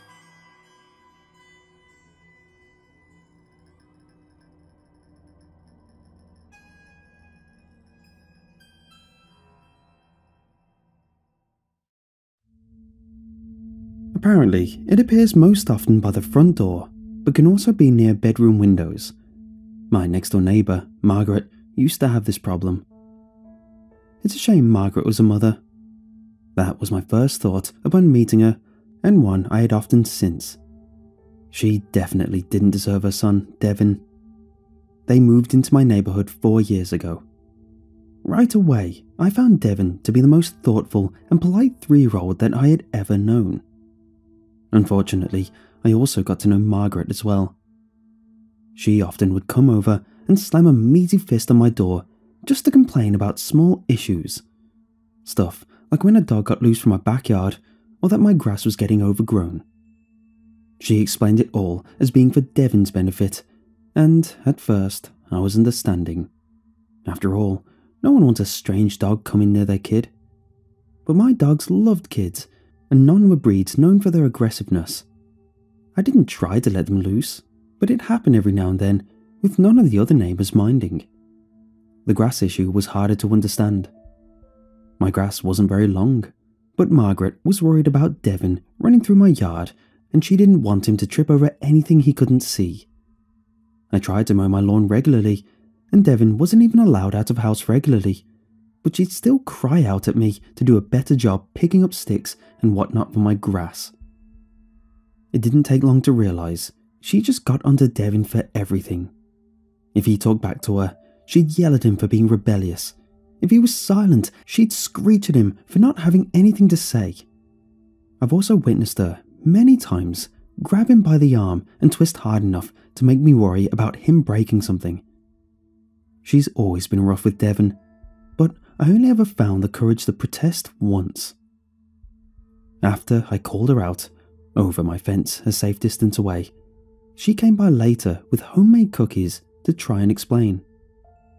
Honestly, this visit was the only reason I never ended up calling the cops. Not because of the cookies, they tasted like bitter soap, but she had a heartbreaking story to tell, one that made me feel sorry for the old woman. They had to move here from the coast after her husband, Devin's father, drowned to death in a tragic accident. Margaret and Devin's father were packing up from a visit to the beach when they realised that Devin wasn't with them. They searched all around for him as soon as they noticed he was gone. The father thought he saw a boy that looked like Devin on the pier and rushed there, while Margaret stayed near the car. Eventually, Devin jumped out of a hiding place behind the changing stations and yelled, Boo! to Margaret, it turned out that he had decided on an impromptu game of hide and seek and had stayed hidden, even when he saw and heard his father looking for him. Margaret raced to the pier, but was slowed down by having to drag around a now screaming and crying Devin. He just didn't understand what was going on. Sadly, they both witnessed the dad jumping into the water from the end of the pier.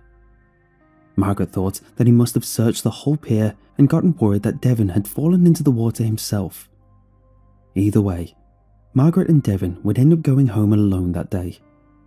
They waited around for bad news to arrive, but when it did, she immediately made plans to move far inland. So that's how she became my neighbour.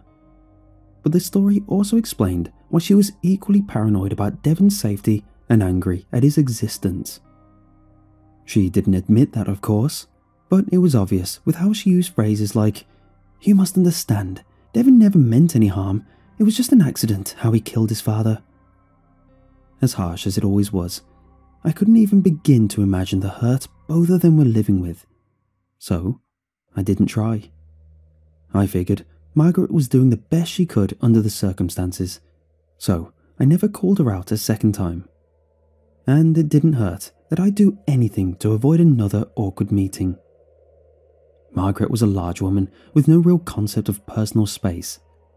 After our little talk, she found excuses to be outside when I came home from work. Eventually, she gave up and became quite reclusive. Everyone in the neighbourhood breathed a sigh of relief, and we largely just continued on with our lives. Until recently, when I saw Margaret outside again as I pulled into my driveway. She was dragging Devin by the ear to a waiting trash can by the curb. She tossed in a book with her other hand and was shrieking at Devin when I got out of the car. She paused, and, at first, I thought it was for my benefit. Instead, she pointed at her own front door and screamed, Devin, is that sand? I followed a finger and saw a small pile of sand next to their open door. I assumed she was just angry at how Devin had tracked around a mess. If I had stopped to think for a second, I would have wondered more about where Devin had managed to step in sand. He was homeschooled, and Margaret never let him out of her sight for long. But I didn't think. I just didn't want Devin to be punished anymore. I cleared my throat and said, I'm sorry, I had a work project that involved sand, and I spilled some all over the sidewalk. It's windy today, so it probably got everywhere else. Devin must not have been able to avoid it if he walked near my yard. Margaret looked at me suspiciously, but then she asked Devin if that sounded like what happened. She had a surprising amount of hope in her voice. Devin looked confused, but only for a second. He was grateful to take the opportunity I provided and said, Well, I did check the mail earlier. Margaret immediately started yelling again, but now about how careless her son was she didn't even blame me for not cleaning up my mess. She dragged him back into the house, and I wasn't entirely sure if I'd actually helped out Devin. There was just no satisfying that woman. Later that night, when I was walking my dogs, I saw Devin sneaking out of his house. He went to the trash can and was pulling out that book when I walked up to him. He flinched, but I held up a hand and tried my best to be reassuring. I just wanted to do my best to keep him out of trouble. Devin explained how the book wasn't anything too special. It was about a father and son surviving the apocalypse together, but that was enough to trigger his mother. I wasn't sure how to bring it up, but Devin must have known what I was thinking. He confirmed what Margaret had told me all those years ago. He said something like, Yeah, my mum doesn't like to be reminded of my dad, and she doesn't want me thinking about him either. I guess you've heard what happened. I just nodded.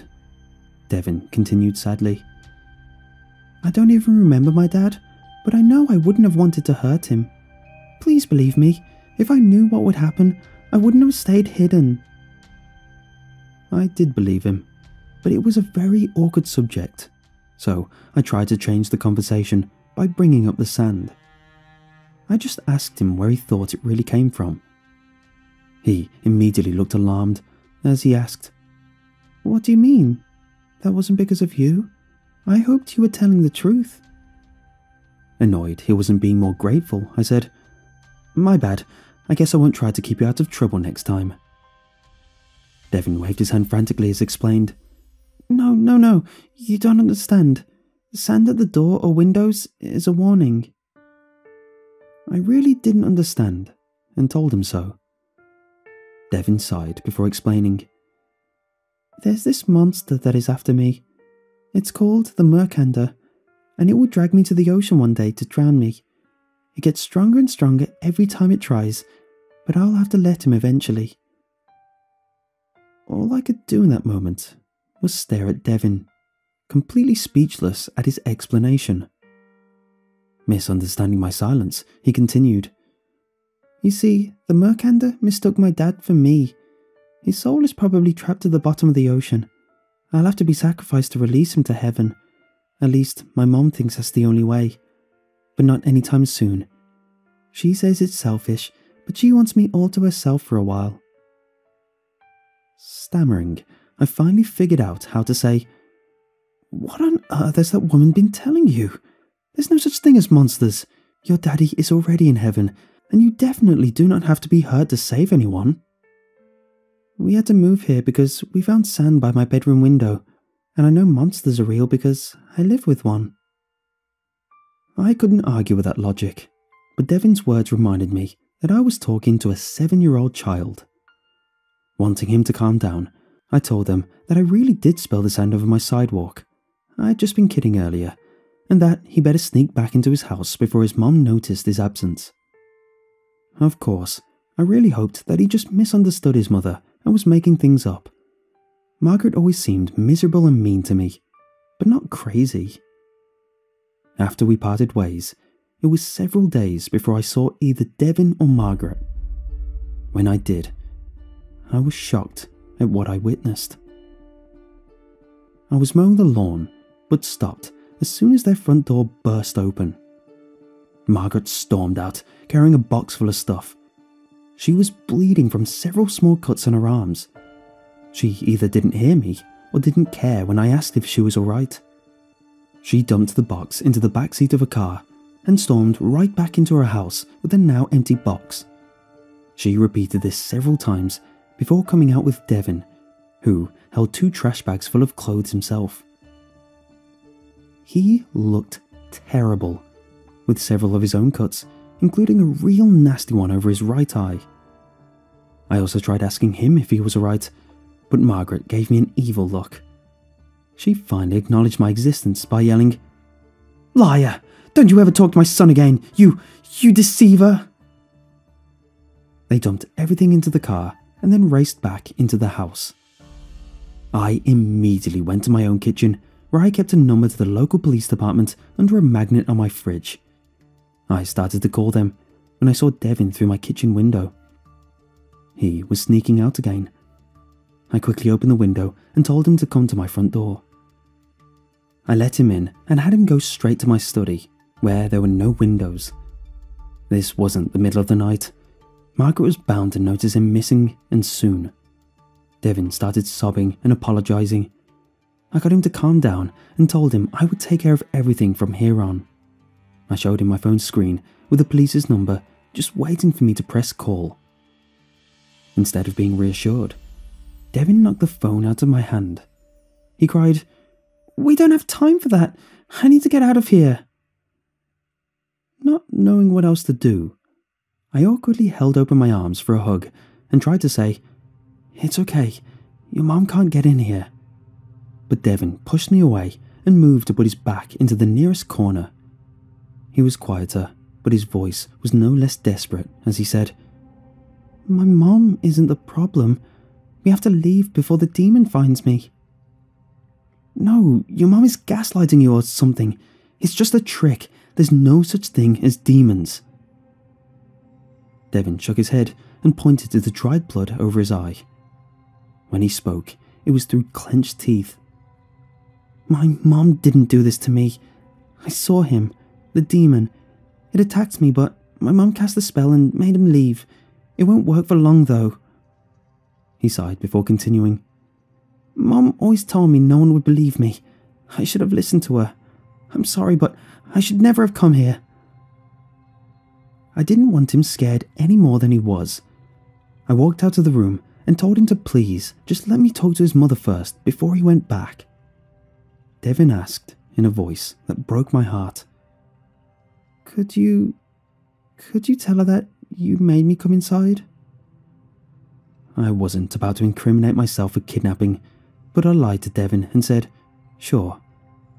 I didn't know what I would have said in the end, but either way, I planned on calling the police as soon as possible. But all my plans were dashed when we entered the living room and could see Margaret outside the window. She was running, looking for Devin. Instinctively, he dropped to the ground out of sight. I just froze in place. Margaret looked frightened. Not just because her hair was flowing wild as she rushed about, or her wide open, bloodshot eyes. It was because of the desperation she showed in her face and actions. She clawed at my mailbox as she ran past, to swing herself around as though that extra bit of momentum would mean life or death. I wished I had also dropped to the floor as she slammed into my front door at full force and then kept hammering away while screaming, I see you! I see you! Where's Devin? I need him now! Adding to the noise was the clambering and scraping of my dogs from the back door. I was happy they were safely outside. I would miss what would happen next, but their frightened noises didn't help at the time. Devin was also whimpering below me. I can only imagine how quickly he had reconsidered going back to his mom. I had suddenly become terrified of her too. However, I truly panicked when I realized I never locked the front door after letting Devin in. Margaret was just hitting the door, but she could try the handle at any time. I forced my legs to carry me close enough that I could slide the deadbolt in place. Margaret stopped briefly, assuming I was unlocking the door, but I still put the other locks in place. Devin almost ruined everything by jumping up just then. Margaret saw him and tried the handle immediately. I braced the door and yelled at Devin to grab my phone, still on the floor in my study. Margaret doubled her efforts to enter after realizing I wasn't going to let her in. I knew talking to her, or at least getting her to listen, would be impossible, so my only plan was calling the cops and letting them sort this out. But Devin wasn't moving to get the phone. I tried to reason with him, but he slowly walked to the door, crying the whole time. He tried to explain. No, I have to go out there. Don't you see? This is just like last time, only it's my mom that will die this time. Please let me out. I heard wood splintering behind me and furiously shook my head. I begged and pleaded with him to just get the phone. He just asked me, Please, please open the door. I know you're trying to help, but this is exactly how my dad died. Mom stopped me from going out, and the demon got my dad as he was looking for me. I felt my blood run cold before I fully understood what he had said. I replied with something like, I thought you were all alone, playing hide and seek when your father passed. Because of the awful noise everywhere around me, I had to strain my ears to hear every word of Devin's whispered response. Hide and seek was my mum's idea. She told me where to hide and then told my dad we were playing. Then she came back and kept me from going out. She told me it wasn't safe because she had seen a demon. I believed him. I mean, I believed Margaret told him those things. So I tried to tell Devin that his mother was the only demon here. But he interrupted me and yelled, while pointing out the window, No, look, the Mercander, it's here! The pounding at the door stopped. I looked out the window and saw a swirling dust devil in my driveway. Margaret was facing it, screaming obscenities Devin hurried to the door and unlocked it as I moved fully in front of my living room window to get a better view. I could and should have stopped Devin, but I was too busy being shocked at the dust devil taking a more humanoid form. It even began to look like it was wearing clothes. It walked like it was underwater, slowly approaching Margaret, and now, more obviously, made entirely of sand. She spat at it as it raised its arms, but that did not stop its sandy boots from marching closer and closer until it was just 10 feet away. Then, sand poured forth from its palms. At first, only a small stream hit her, but the sand was moving fast. Margaret held out a hand to catch the spray, and it worked to divert the slow sand against the rest of her body, but at the cost of almost completely flaying her hand. I'll never forget the spray of blood and skin over her wild face as she turned and screamed in pain. The Mercander, or whatever it was, started to pour out a much thicker stream of sand at Margaret, but at that moment, Devin ran in between the two and shielded his mother. The sand hit him like a truck. His body was lifted off the ground, but he never landed. Instead, his body was kept aloft by the seemingly never ending streams of wind and sand. It became difficult to see, but every now and then I would catch glimpses of Devin's stripped body. His clothes had offered no protection, and the sand ended up stripping every other layer of him. I couldn't turn away, not even when I saw a perfectly clean skull floating in that mini sandstorm. And then even that was ground to dust. Mind you, this only took seconds, a minute at most. I might have been screaming the entire time. I only remember hearing that horrible wind, but my throat sure was sore afterwards. Either way, Margaret hadn't wasted a time her son bought her. She stumbled into my home and into the kitchen. I barely noticed her, but she didn't need anyone's help. She turned on the stove and put a pan on the hot plate. She grabbed a cleaver and amputated her mangled arm herself. I only realized what she had been doing later. I was watching as the sandstorm abated, but the swirling sand didn't rejoin the Mercander. Instead, it formed a second, smaller Mercander. The only other difference was this one's sand was tinged with blood. The two turned into whirlwinds whose edges touched and briefly joined. It was almost like they were embracing. When they started to head towards me, that's when I turned to run. But I stopped at the sight of Margaret in my kitchen, putting the stump of her arm on my stove to cauterize her wound. Her howls of pain were soon joined by howling wind as my window shattered and I was knocked to the floor. It became hard to breathe as it felt like the wind was being caught from my lungs and flung into the room. Everything was just sand and wind for a while until I blacked out. When I awoke, there was no sand, no wind. My broken window and the pile of gore that remained of Margaret's severed arm in my kitchen were all that confirmed I hadn't been dreaming. At last, I got to call the cops, but they were just as confused about the situation as I was. I didn't actually see Margaret killed, so a manhunt was initiated, but she was never found. However, in the investigation, they found Devin was reported missing four years prior, at the same time as his father's unfortunate drowning accident. He was reported missing by his real mother. In search of answers, I was happy when the police shared this information with me. It's how I finally learned the name of Devin's father, James. I wonder if Margaret had ever bothered to learn it for herself.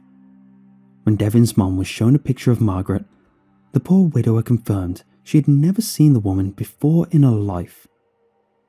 This put a big puzzle piece in place for me, but I still don't think I'll ever fully understand what happened.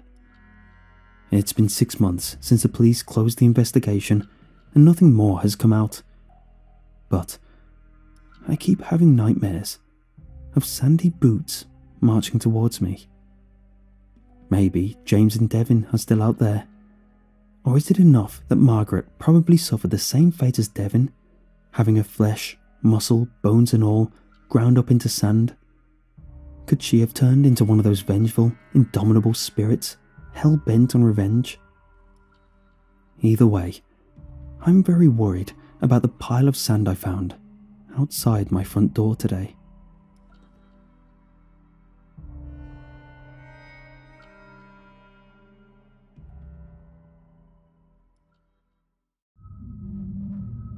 They come for the eyes first. They know they can tear us apart, eat any organ they wish, but it's the eyes they go for first. See, they know that the eyes are the soft bits. Everything else will last for longer once we die, but the eyes are on the surface and they dry out. That's why they devour them first, while we're still conscious. We're powerless against them, chained to the damp floor as they run towards us. You can feel their small bodies slither across you, and all you can do is scream when they sink their pointed, suctioning mouths into your eye sockets and rip the eyeballs free from your skull. It's horrible. And the worst part was that I had to watch it all first. There were three of us in the little room when I woke up. All of us were stripped except for our underwear, and each of us was strapped down with chains bolted into the floor. All I could do at first was twist my head, which ached like hell from side to side. I didn't see much. It was dark in the room I woke up in, and other than a man on the other side of me, the room was bare of anything else.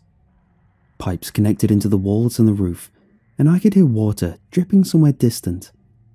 I think we were in a sewer. I heard the guy on my right groan out, and I turned to face him.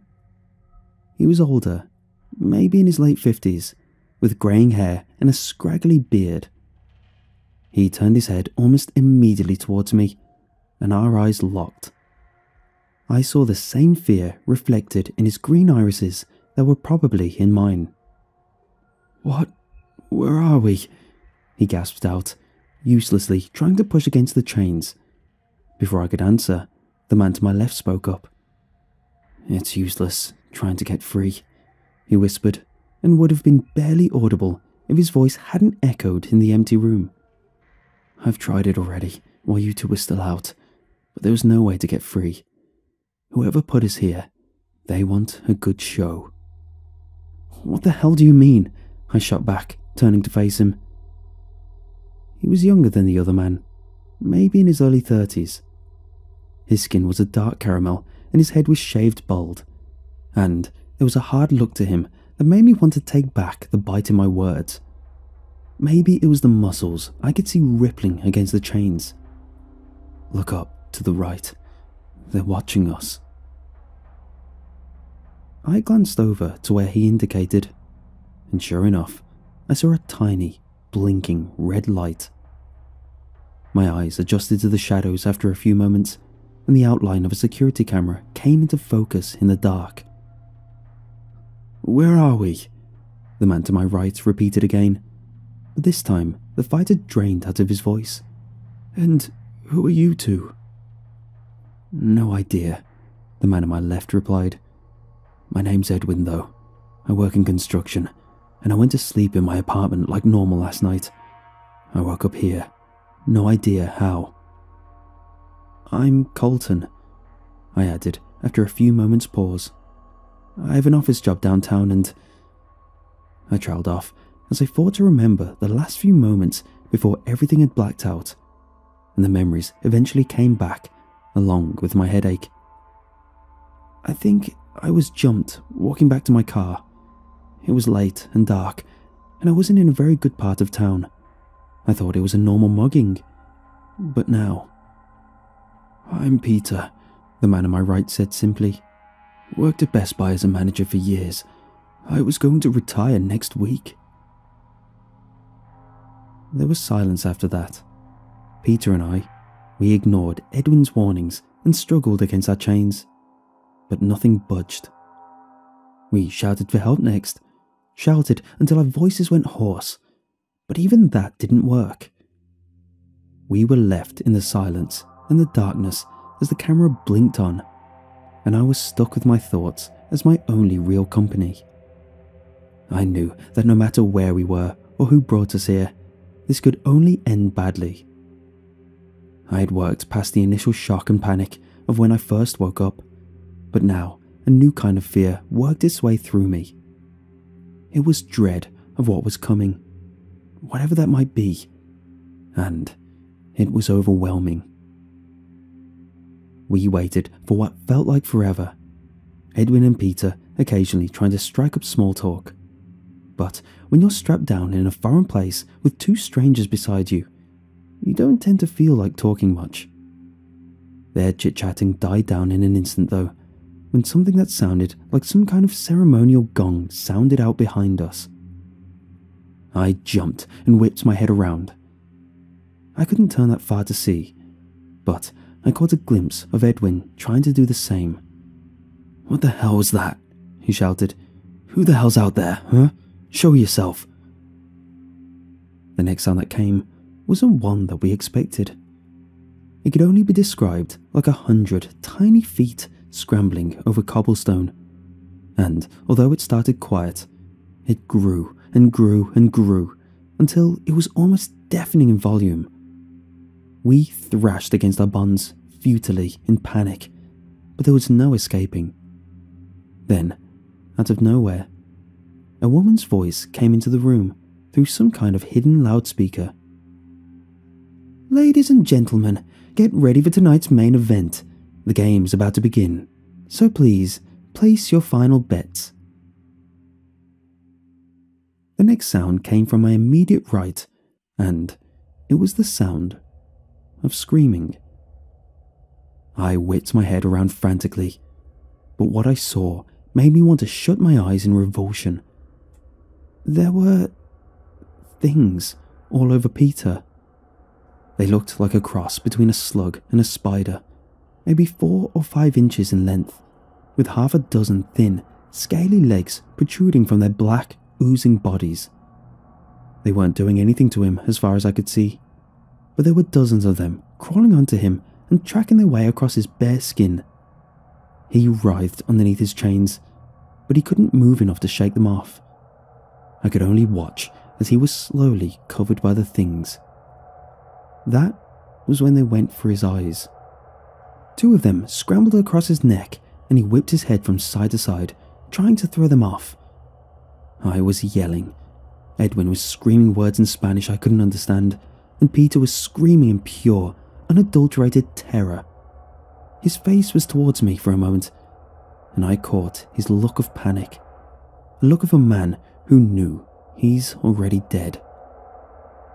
As I watched, one of the creature's heads extended a thick, long appendage from what appeared to be its mouth and it hovered over Peter's face for a moment as the man froze, suddenly not daring to move a muscle. The appendage was like a tongue, long and spongy and round, but serrated into a thousand tiny teeth at the end. In an instant, the creature sunk the appendage into Peter's eye with a sickening squelch, and blood sprayed everywhere. Peter erupted in fresh screams of agony and the creature dug its tongue deeper as he screamed. Blood splashed out, and I felt warm droplets spray across my face as the tongue pulsed and writhed as it sucked from Peter's screaming face, and three more of the creatures crawled up to join it. I couldn't stop looking, no matter how much my mind willed my body to turn away.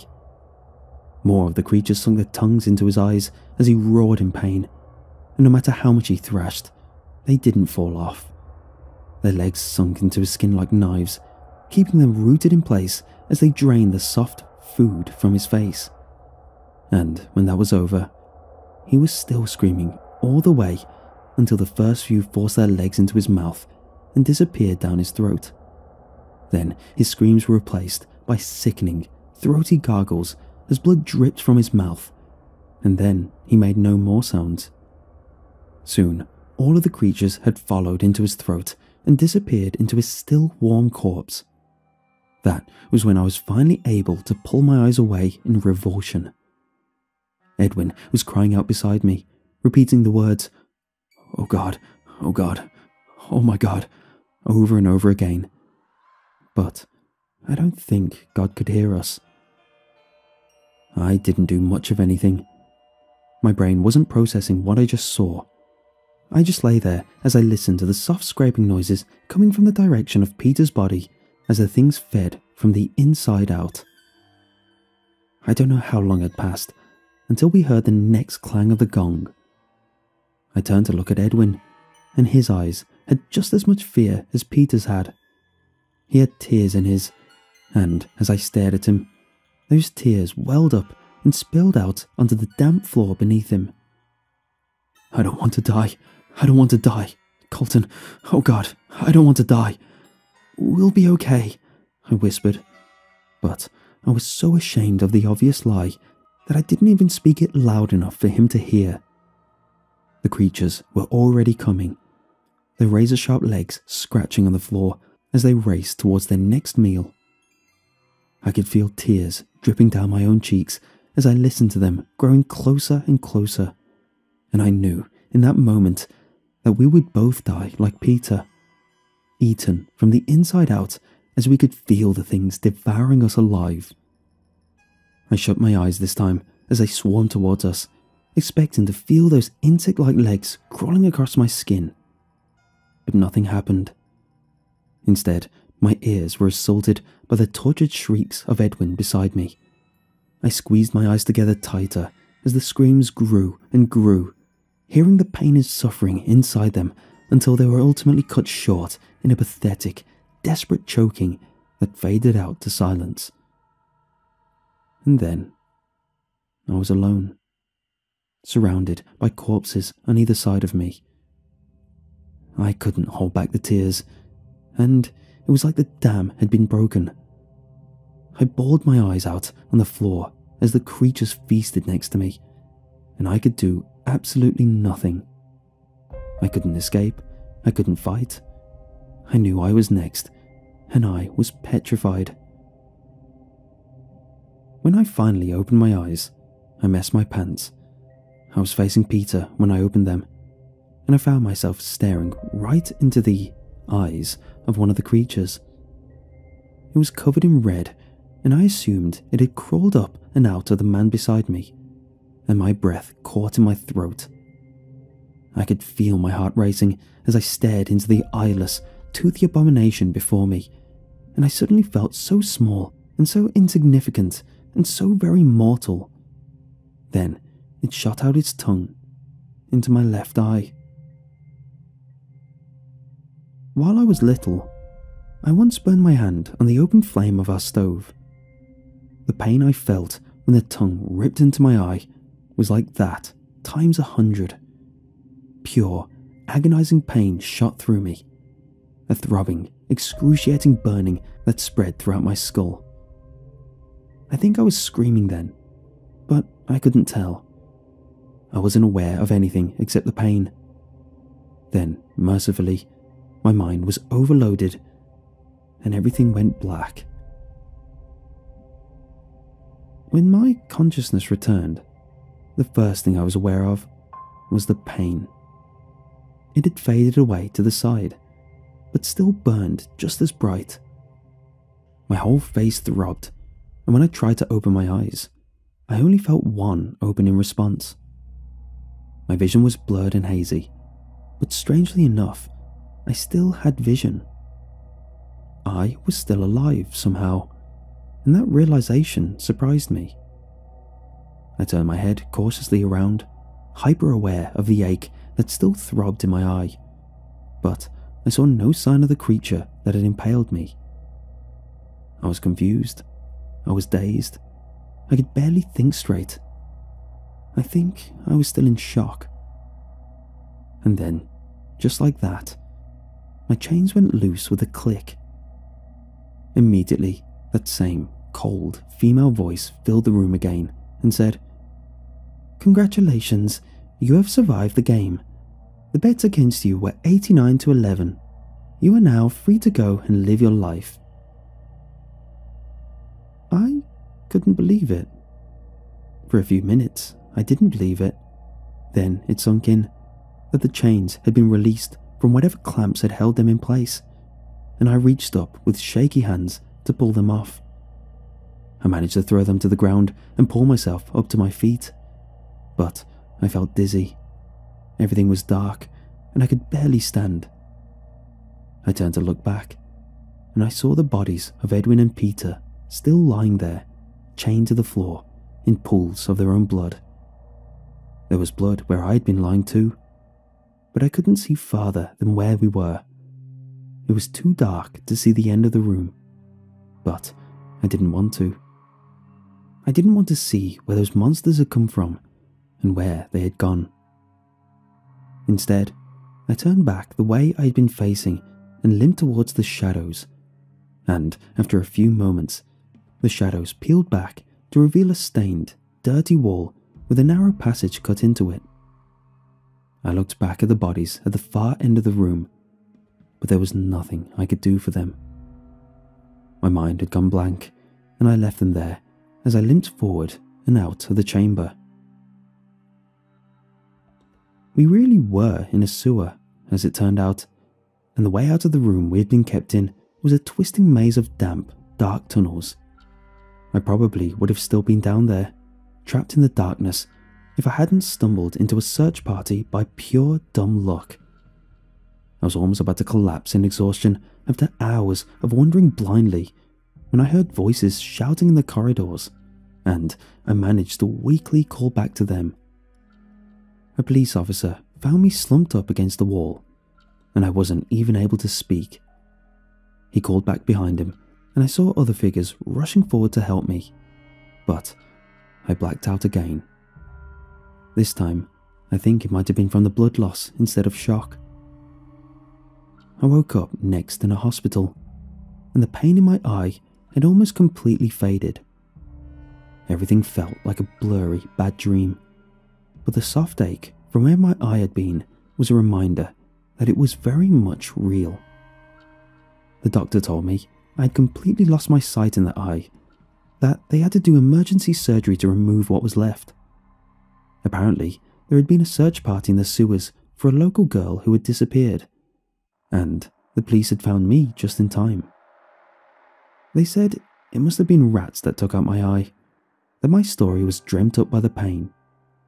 I told them that if they could find the other bodies, then they'd know it was real. But they looked at me like I was crazy. They said they had combed every inch of that sewer, and the only other body they'd found was a six year old who had somehow gotten down there and drowned in the drainage pool. But I'm not crazy. I know what I saw, even if I don't know what it was that I saw. I don't know who did this to me or why, but I know that Edwin and Peter didn't die for nothing. Even if no one here believes me either, I'll find the people who did this. I'll find the game.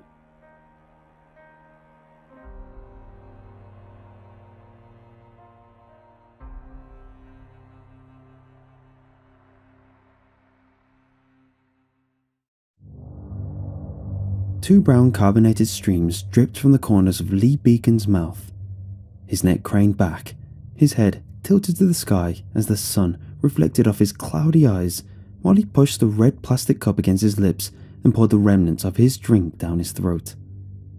He crunched the cup flat against the table, wiping his mouth and smacking his tongue against his lips. Just a slivering whiskey in this, right? Diego and I cheated glances at each other from the corners of our eyes before returning to him on the other side of the picnic table. There was no recognition in his face, nothing to suggest he'd noticed our little glance or was even aware just how much alcohol he consumed already. Our plan was working. A little nudging, a little banter between young men to peer pressure the religious 20 year old who'd drunk perhaps only a handful of times in his life to have a few mixed drinks at the church barbecue after Mass one fine Sunday afternoon. Once his taste for it was gone, each clean or weak drink packed a lot more alcohol than he thought. His tongue had already loosened, so much that it was literally dangling out of his mouth. I glanced over my shoulder back towards our church. St. Augustine's yellow rounded steeple cast a shadow that fell neatly over the area we sat and all the way to the old cemetery beyond us. We'd managed to situate ourselves on the farthest bench from the barbecue and therefore the safest place for interrogation. Kids ran around, screaming and laughing in the main area by the grill.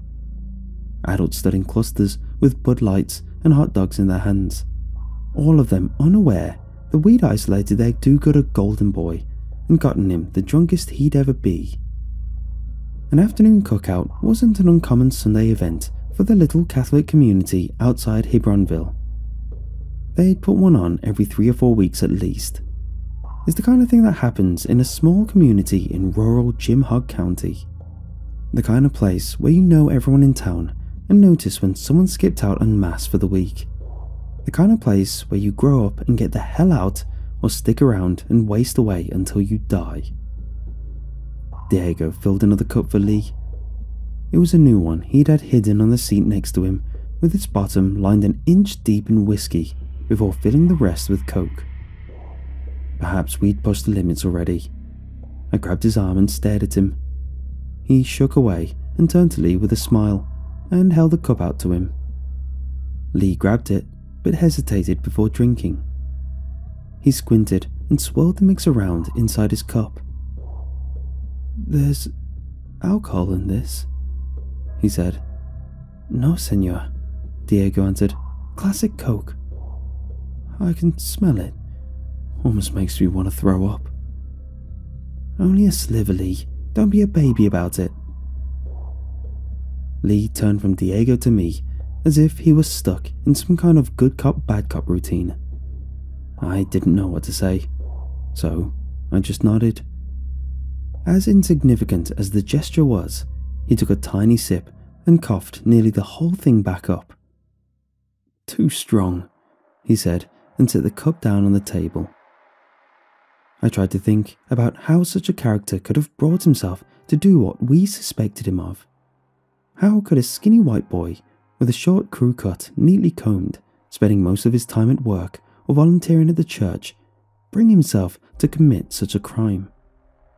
The Beacons were one of the most clean cut, well to do families in town. Everybody knew their name. His father had landed him at the bank after high school, where he worked 9 to 5 Monday to Friday. He probably did Bible study in between chores on Saturday before spending his Sunday helping out his dad again around the church. Could he really have been guilty of stealing the donation money after Mass? Could he really have been sticking around to have his go with Sunday school girls aged 15 years or younger? We'd first heard rumours from Lee's cousin, Jamie, at a party a few months back. We didn't believe it at first. We kept hearing the same story getting whispered around in different social circles. More often than not, it was coming from people whose word I trusted. If it were true, that would make him not so different than the common local burnouts like Diego and myself.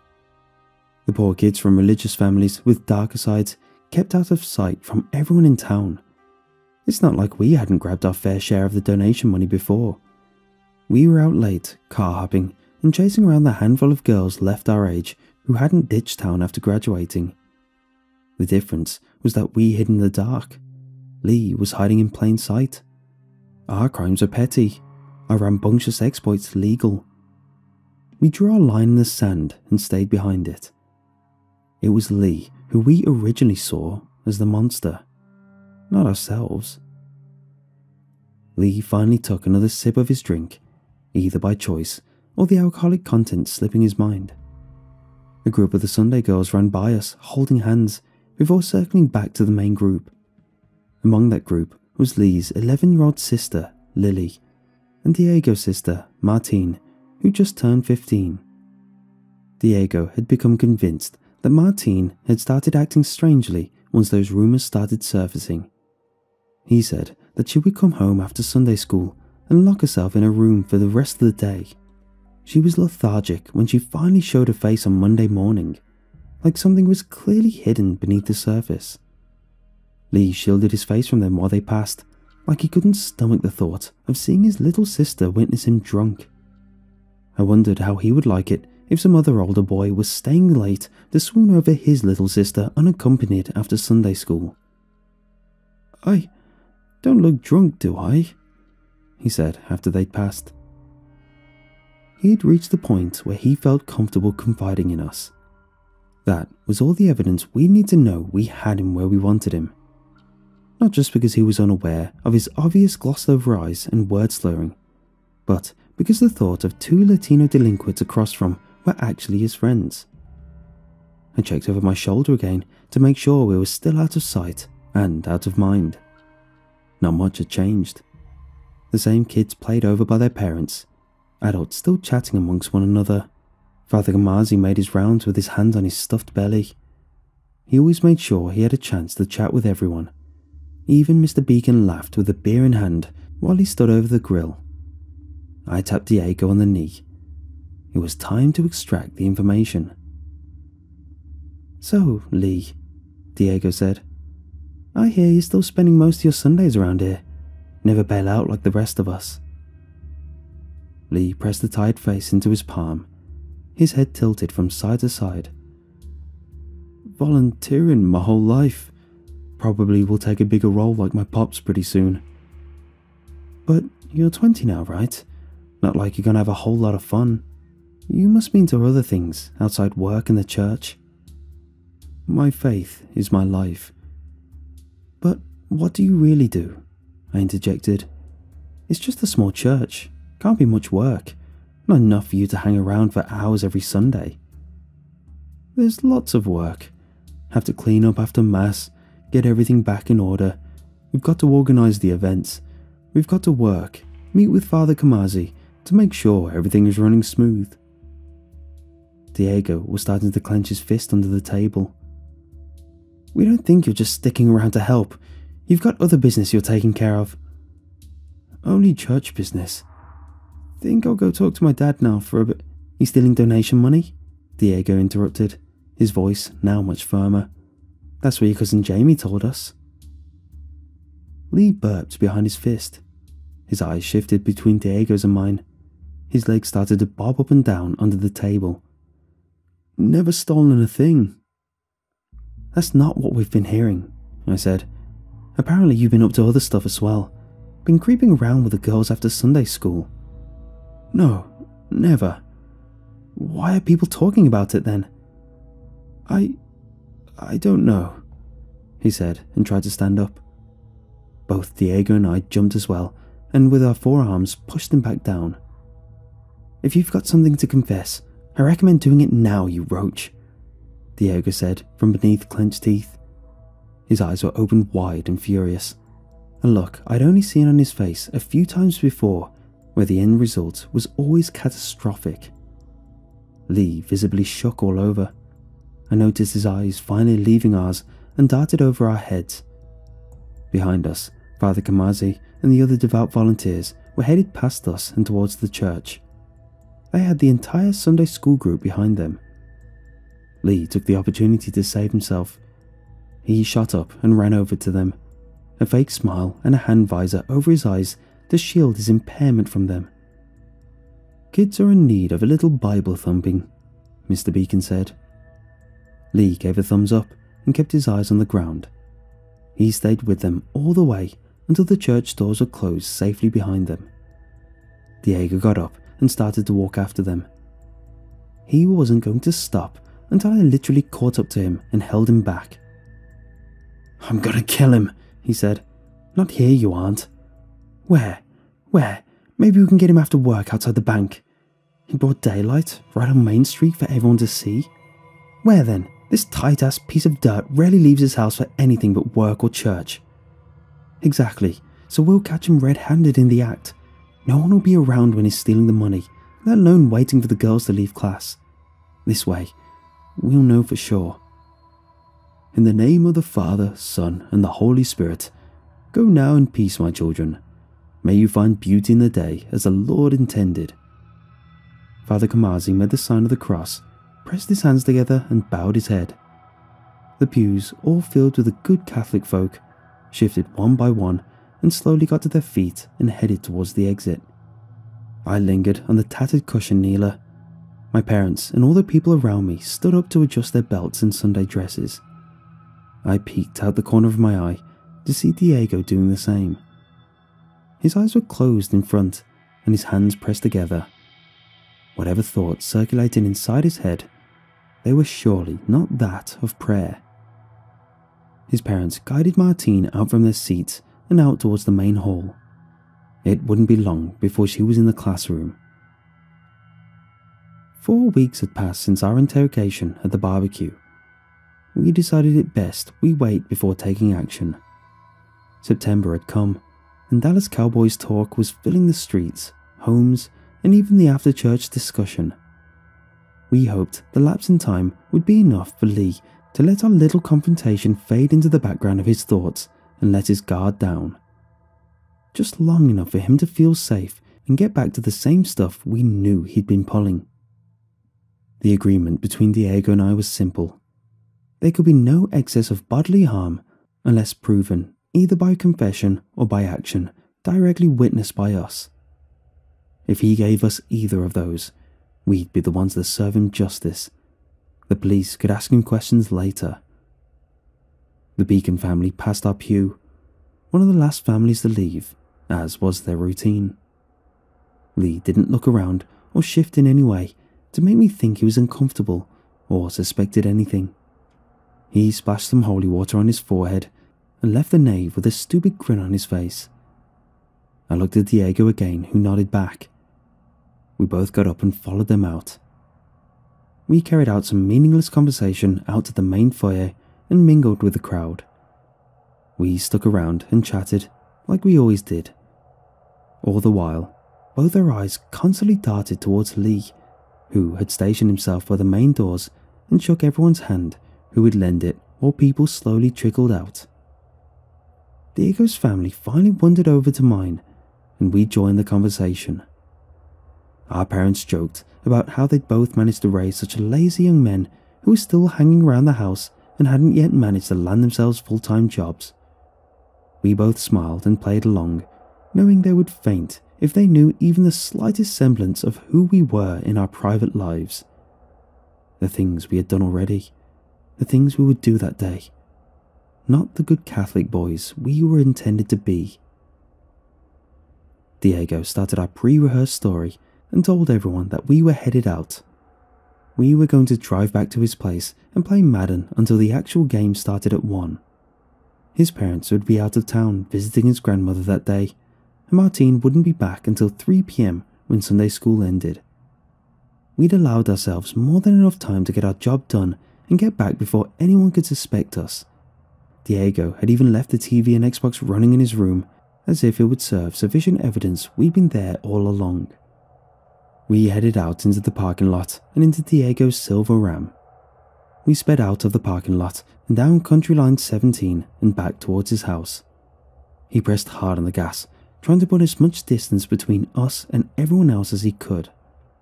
When we were safely out of sight from any car, he pulled into one of the side roads and then off into a little wooded area.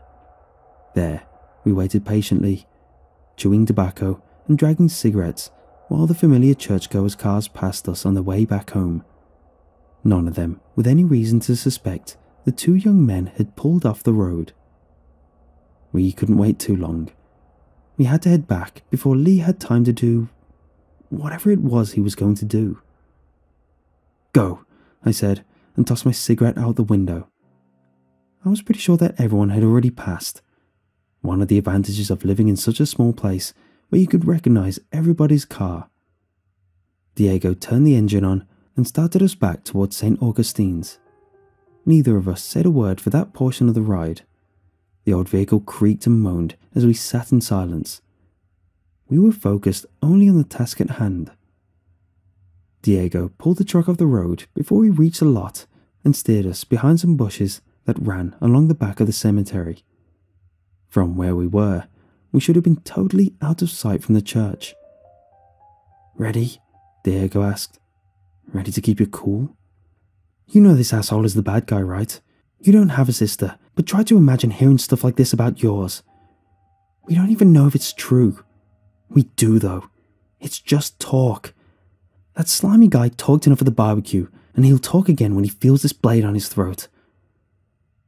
I looked out through the shrubs and towards the fading yellow bricks of the church. Remember the rules, I said. No killing. Don't use anything that will leave a trace or knock something to the floor. Diego turned around and started rummaging under the back seats. Anything else? he said from over his shoulder. Just wait for the proof.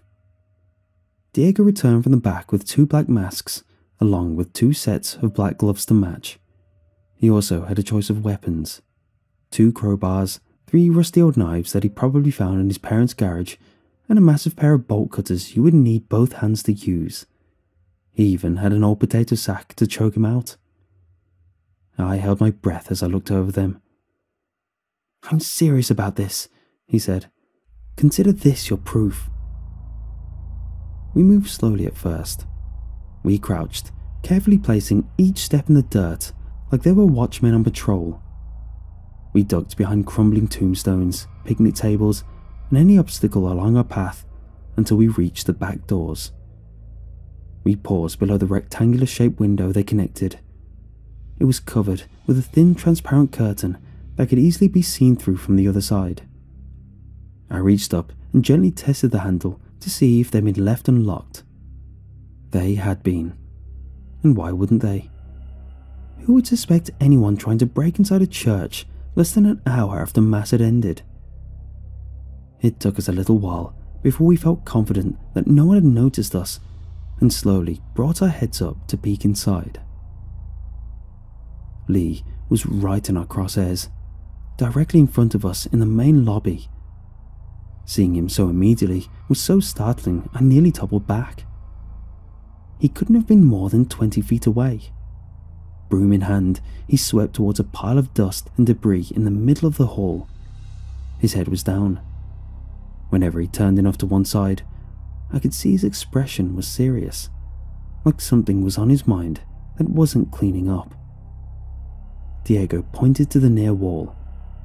Leaning against it were a couple of church posters, a mop he'd probably used after sweeping, and the two collections baskets he'd been tasked with safekeeping. Both of them overflowed with the bills of the well intentioned Catholics. Lee swept a bit more into his main pile, scooped it up, and dropped it into the garbage can next to his loot. He leaned the broom against the wall and wiped his forehead with his arm and turned back towards us. We were one step ahead of him. We both dropped well before he could have seen. All he saw through those windows was the same old picnic area with the old cemetery behind it. I prayed Diego's truck was out of sight as we'd imagined. After a few moments of silence, we gripped our crowbars tightly and slowly brought our eyes to the window line again. Diego's fingers shook and slipped on the edges of the pane. Had Lee still been looking, we would have had no choice but to rush him and create more commotion than we wanted. A very different looking Lee was now standing in the foyer one like we'd never seen before. He looked towards the classroom farther down. He had his hands clasped together, his thumbs circling the insides of his palms. He slunk along the wall towards the door, tiptoeing as if afraid to disturb anything in the empty space around him. He made his way to the door of the Sunday school classroom and gingerly brought his head to the window to peer inside. He spied on them while we spied on him. He stayed there for a while, lifting one heel off the ground and then the other. Then someone must have seen him. He quickly jerked his head away and then crept back to the spot where he'd just been cleaning. Both Diego and I ducked again and looked at each other while under the window. Think he saw us? I said. He didn't see anything. Hope so. Enough proof for you now? Peep and Tom just got caught looking at the Sunday school girls. He glared at me. I could see his long held frustration starting to boil over. I looked at the crowbar in my hands. I tried to imagine what it would be like to crack it down over that sicko's head. It didn't feel wrong. Not in the slightest way.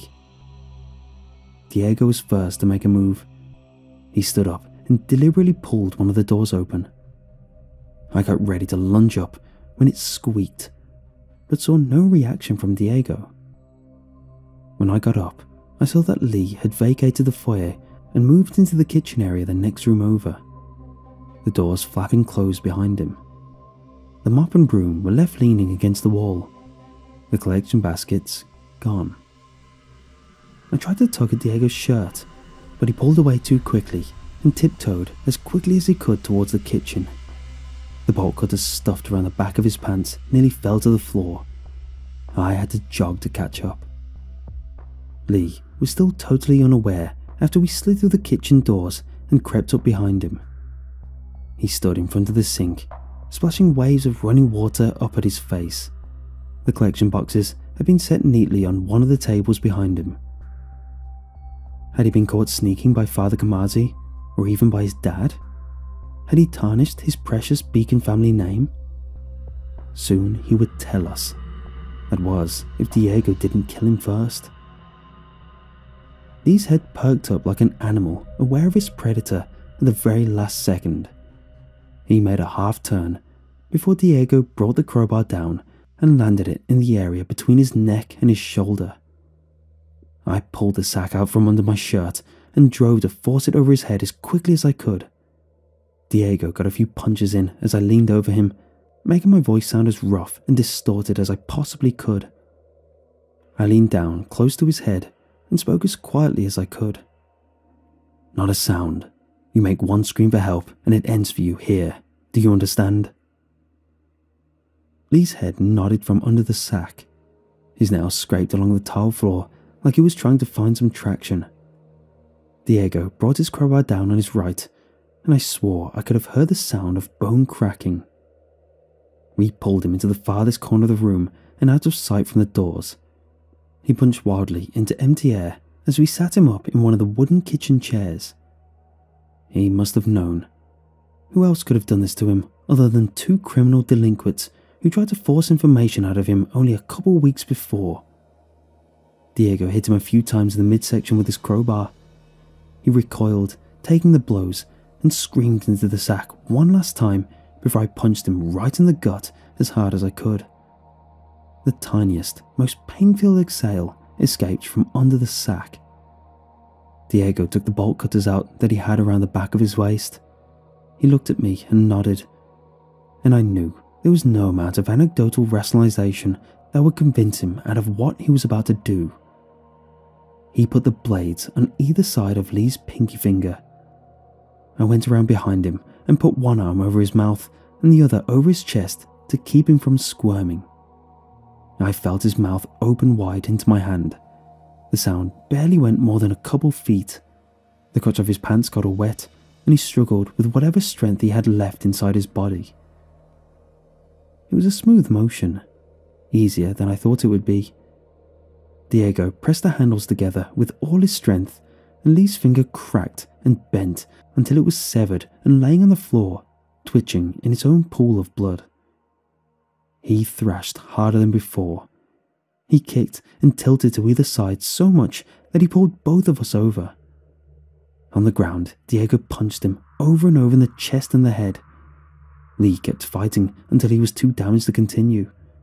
His kicks and screams became weaker, the blood still poured all over the floor and soaked the legs of our pants.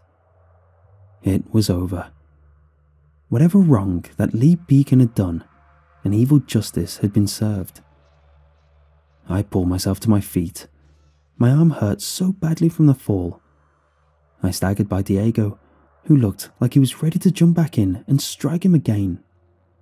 Blood had gotten on the inside of my pants and up my leg. My first instinct was to pull off my mask and wipe it, if only it would have proven my biggest mistake that day. Somewhere in the pain and the adrenaline, a realization struck me. We weren't the only ones in the building. The Sunday school group, Father Kamazi, and even Lee's dad and some other volunteers were still in the building somewhere.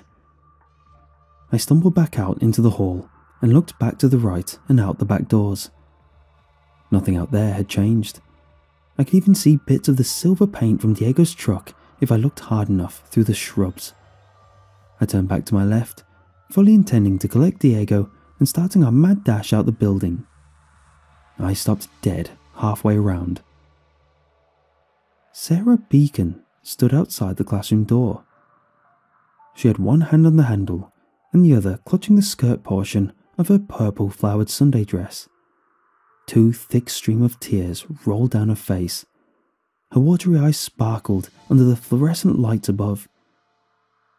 She'd seen us. She'd seen what we did to her older brother. I could tell from the look she gave me, she'd witnessed something far more terrible than any young girl should ever be exposed to. She was trying her best to hold it back, but she was on the verge of breaking and crying out for everyone to hear. What would Diego do if he saw her? Surely he wouldn't be so keen to let her go. Not now that she'd see my face. He would intervene. He would hurt her, take her captive. Even worse, depending on how much adrenaline he still had coursing through his veins. He might even kill her. I gestured her towards the classroom door and started to pull the mask back over my face, thinking the day would come where she would point to me as the guilty party from a courtroom stand in front of my family and half the town. I was alright with that. I had already done all the damage I was going to do that day. It was better me than her. She winced and turned the door handle. The door slammed shut behind her and echoed through the hall. I went back inside and grabbed Diego by the shoulder, and both of us ran as hard as we could all the way back out to the truck. We were out on County Line 17 and back at Diego's place in half an hour, watching the Cowboys game without anyone, except for Sarah, ever knowing. Pebbles cracked and split out from underneath my tyres. The truck bobbed up and down when I pulled off the road and into the little flat behind the bushes now 18 years overgrown. They stretched nearly as tall as some of the old trees behind the graveyard and completely blocked my sightline of the church. I parked in nearly the exact same spot that Diego and I had all those years ago. I had the day of my return penciled on my calendar for longer than I could remember. I was as ready as I was ever going to be. Lee Beacon died from his injuries the day we beat him and cut off his little finger. There is no escaping the fact that never a single day will pass where he doesn't pass through my mind at some point in time. Sometimes I see his face, flushed red with mixed alcohol beverage running down the corners of his mouth. Sometimes I see his nervous face while he peered in through the window of the Sunday school classroom. Sometimes I simply picture what his face must have looked like under that sack after we struck him over and over. I opened the door and stepped onto the dirt and scattered patches of grass. I wondered how long it had been since someone had stood in that spot. Perhaps it was the police who scoured the area after being called unseen. They never traced any tire marks in the dirt back to Diego's truck, even though they arrived at the church approximately 35 minutes after we'd left. Neither Diego nor I served a single day in jail for a heinous crime. We never even dealt with the slightest bit of suspicion, nor were we on the radar in any capacity. This was due, in large part, to the fact that Lee was not the only murder victim found inside St. Augustine's church that day. He was only one small piece to an even greater and perplexing atrocity that occurred within the holy confines of that building. The whole thing was so big so shattering that any trace of us would have only become an irrelevant detail in the grand scheme. The South Texas heat was hard to readjust to. The air was sticky, and I was already sweating by the time I reached the old graveyard and walked in between the tombs, not kept up and now nearly 20 years further aged. I stopped in front of the Beacon's graves. They were the last two to be buried in the yard. Lee was 20, and Sarah only 11. They were too young to be taken from the world, both of their blood forever stained upon my hands. A surge of sadness engulfed me. I had to turn away. I had to put my hands on my knees, trying to suck in long gasps of air to slow my heart rate. I looked towards the church. Its formerly yellow bricks were chipped and browned. The windows were mostly boarded over except for a few spots where the slats had been peeled off or cracked. The back door, the same one we'd peered inside to see Lee spy inside the classroom, had been replaced by two large steel ones, forever chained and bolted shut. Perhaps if we'd gone to prison, then I'd have the chance to make peace with myself.